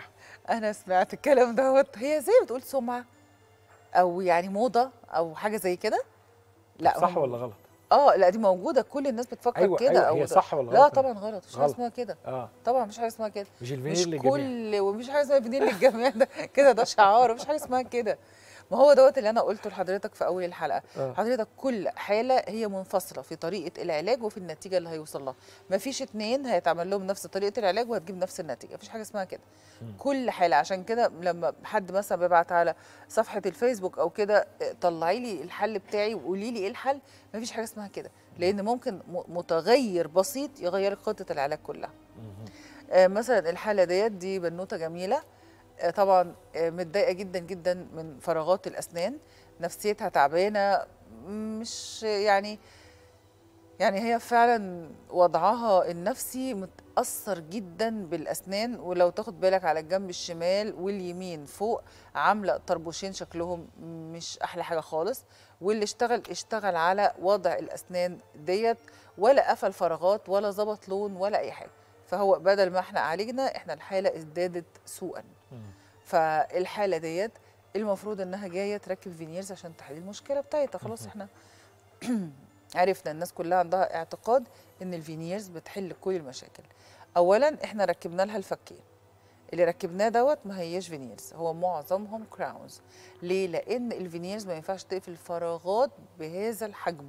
لأن الفراغات كل سنة ما بينها وبين التانية مكان يدخل سنة تانية. أو سنة ثالثه لا دوت ما ينفعش تبقى veneers ال veneers ما تستحملش تقف على الهواء فدي الحالة كلها. اتعمل crowns قربنا العلاقات ظبطنا قفلنا الفراغات. اتظبط النطق بتاعها لأن الفراغات ما بين الأسنان بتبوظ النطق تماما. قدرنا نوصل لنتيجة حلوة جدا ودي ما خدتش يعني هي فعليا خدت زيارتين. من حيث الوقت خدت أعتقد أسبوع. مرة في أول الأسبوع استلمت آخر الأسبوع. خلصنا الحالة دي. خدت بالك بقى إن في حاجة ما بين ال- الصورتين فيها اختلاف. هو مستوى اللثة. مش إحنا قلنا إن في فرعين في طب الأسنان مظلومين؟ اللثة التقويم واللثة. واللثة. اللثة ما فيش مخلوق بتقول له أنا عايز أعمل لك تجميل لثة أو عايز أظبط لك كذا أو أغير لونها أو أو أو ويوافق كده بسهولة. يقول لك طب ما هي موجودة وساكتة طب ليه؟ لا أنا عايزة أهتم بالأسنان أكتر. أيوه ما هي ديت الشاسيه اللي شايل الأسنان. يعني إحنا لو عندنا اسناننا بيضه وزي الفل وشكلها جميل ما فيهاش نقطة تسوس. وعندك اللثة كلها فيها جزر أو فيها تجمعات آه، ميلانين أو تجمعات سوداء آه، آه، في اللثة. هيبقى الشكل إيه؟ يبقى شكلها بوظ كل التجميل. نفس فكرة لو حد لابس عباية مثلا بيضة وفيها نقطة سوداء كل الناس عينيها هتروح على النقطة السوداء وهيسيبوا خالص ال- القميص الأبيض أو العباية البيضاء اللي ملبوسة دي محدش هيبص لها ولا هيبص لقماشتها ولا ماركتها ولا أي حاجة. كل الناس هتتجه للنقطة السوداء. فدايما تجميل اللثة من الحاجات المهمة جدا من حيث اللون ومن حيث المستوى عشان أقدر أطلع النتيجة دي. في معتقدين عن الفينير مشهورين جدا. الفينير دائم ولا مش دائم؟ هيقعد ولا هيتشال؟ بعد شوية. المعتقد التاني ان هو غالي. أغلى حاجة في التجميل. هعمل فينير يعني هدفع فلوس كتير. طيب نمسك أول حاجة هو دايم ولا مش دايم؟ هو دايم لو اتعمل صح. نفس فكرة أي حاجة في الدنيا أي حاجة بتشتريها من بره لازم تنقي خامة حلوة عشان الحاجة دي تعيش. وأنت بتشتري أي حاجة يقول لك إيه لأ دي خامتها كذا تعيش معاك.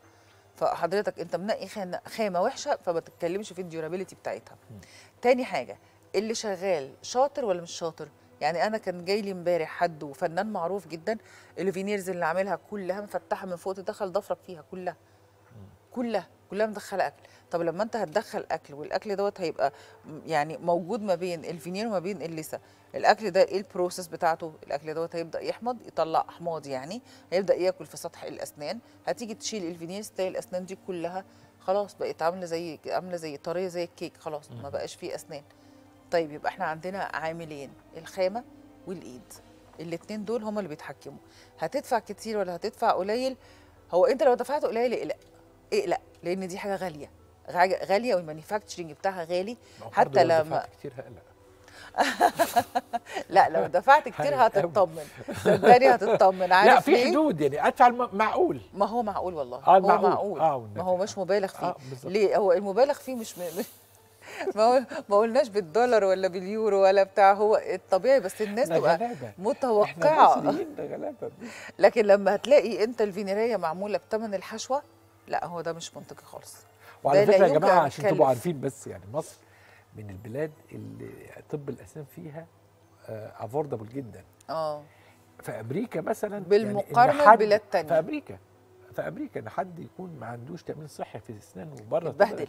بيتبهدل. آه يتبهدل يكون خارج التامين الصحي لأن بس هناك المصاريف آه خياليه أنت عارفه إن هناك بياخد ال... يعني بيشتغل الشغلانة ويسأل أول حاجة ال medical insurance بتاعه خاص بالسنان أيوه إيه. أيوه إيه؟ على فكرة هي نفس الأسعار اللي في مصر تقريبا بس حط كلمة دولار بدل جنيه.